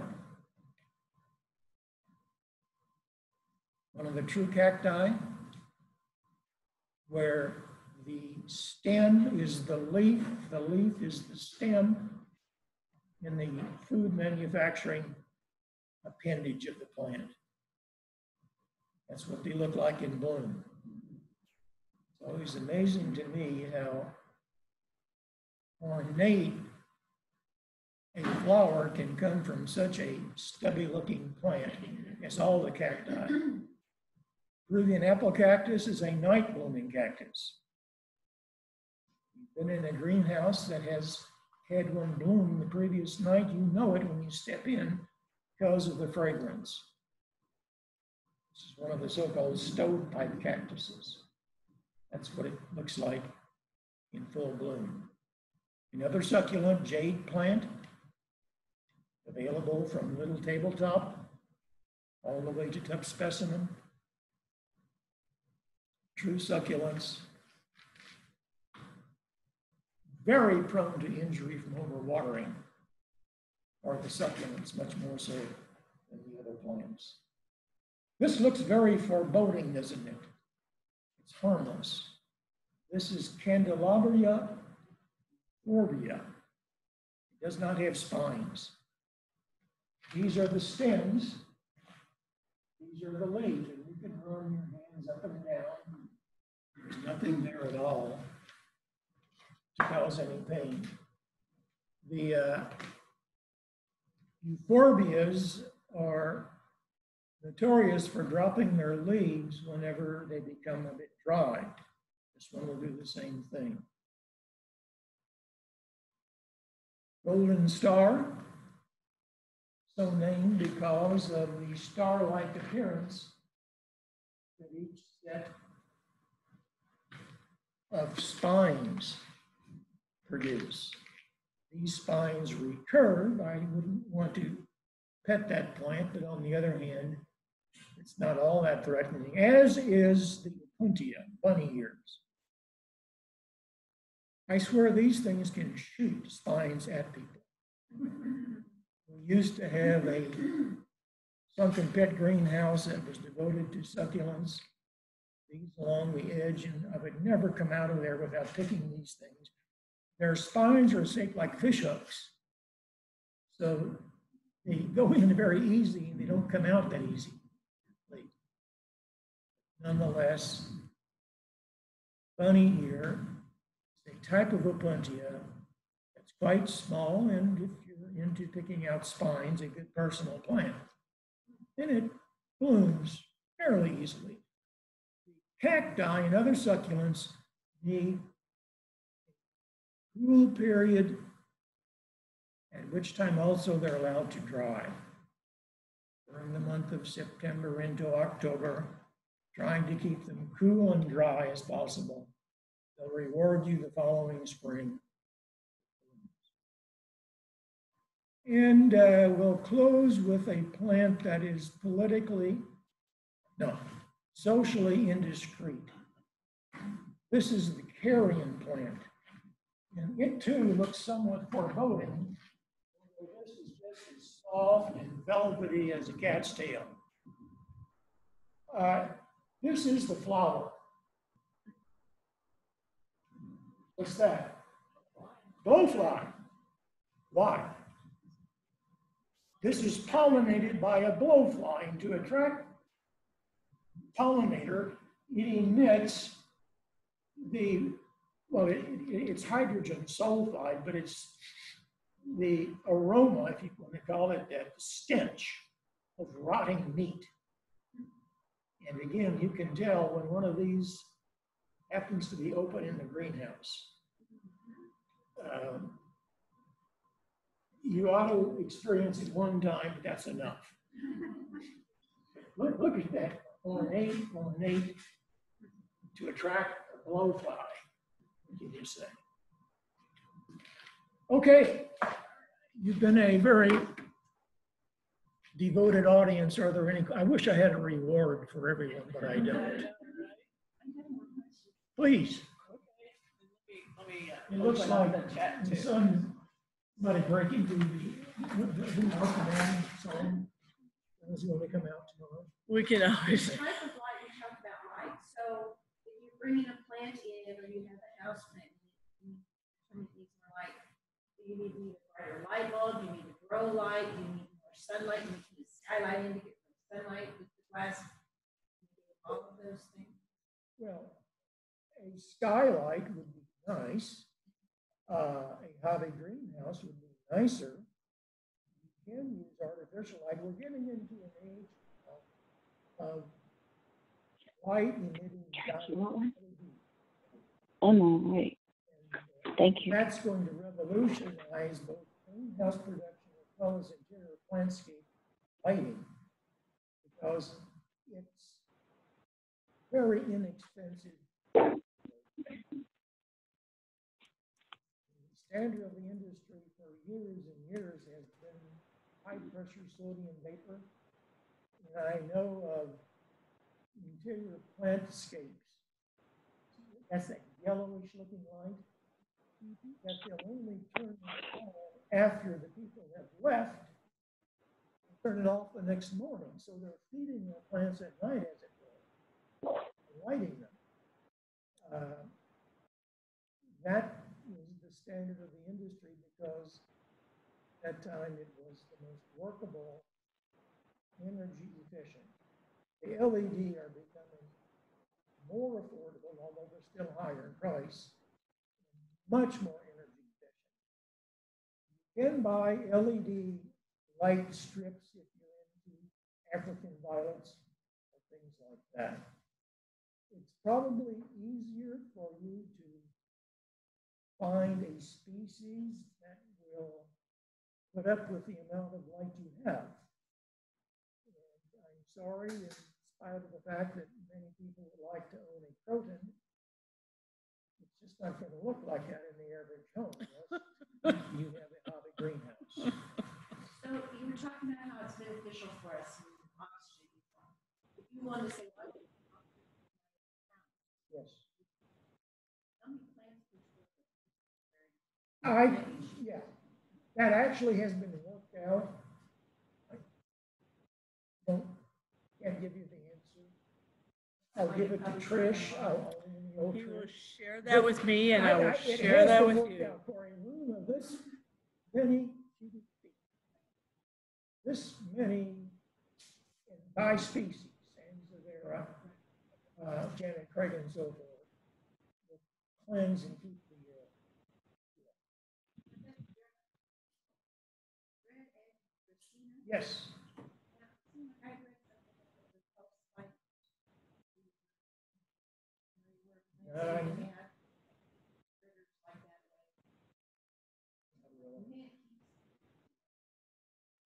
I would not know what the mechanism would be because it doesn't emit anything that I can smell. And I, I really, Yeah, you'd think it'd have to have an aroma, wouldn't you? If it was gonna scare spiders away. And Yeah. the figs you talked about, none of those. That's all back. well, Is that by species or because of the lack of the I right? think it's species. The, the, the figs that I showed you, some of them will produce a fig, but they're about that big and hard as a rock. They're not the, the, the fig that we use. Oh, hey, my pleasure. Anybody else have any questions? All right, well, thank you very, very much. We appreciate that. Spoil me. My school never, ever. Well, Unless You see my the the class is cut short, then they. Oh.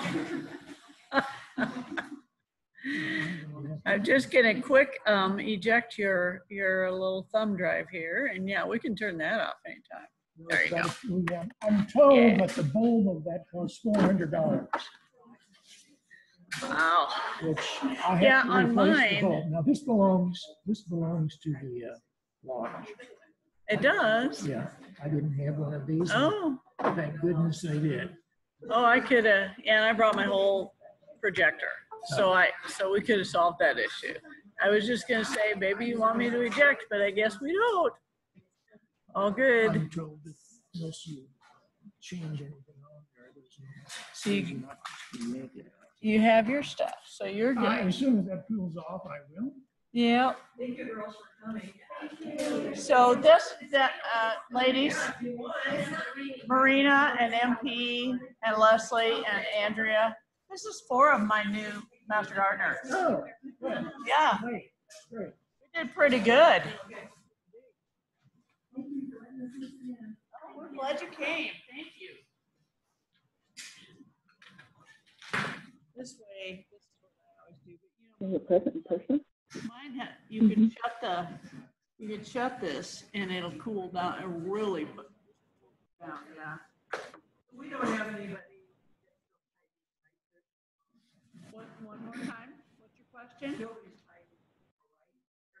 Actually, that's, Trish, um, we have, um, I think we have Becky here, and who else do we have? And Kay. Right? Okay. And who's this? Should I, should we It's, it's here. Just, this year, we're not gonna be able to do a big presentation. Taken, I'm sorry. I can, Can't hear you. We're never sure who has what, so I wanna make sure that. I can't hear you. And then this was pretty much all. Here, about field trip. Um, yes, I've had. It's not everybody else I just need to I just. Oh. Uh, basically. it's all of that. And then I will get get a better. we're gonna talk just real quick About the process. So. So you grow your own ginger. Oh, and, and Rita, I have to tell you, my daughter got some that the, the stems are now like five foot tall. And she's worried about it because she keeps thinking we need to repot it. Yes, the ginger. And I'm going, I don't think we want to repot it. No, well, I repotted mine and I gave one. Right, you know, and then put it into, you know, right. repotted that this spring. When I bring it in, I'm gonna this stem, and I thought, I waited and waited and, uh, um, it takes a while for them to show up. Yeah. The stems are only this tall. You but, can this this right thing went because if you move it, it I just moves can't it. believe it. um, Yes, right back. Yeah. Uh, so. I'm cracking my pocket. uh-huh, You know, after they. Yeah. Well, was. And, and so do you guys, are you guys just gonna skip your meeting? Or are you gonna have, yeah, okay. Sorry, everybody, we're just gonna, she'll, she'll send out a, an email on this. So I'm just gonna end the meeting for all. Thank you, guys. Well, you got at least two and a half.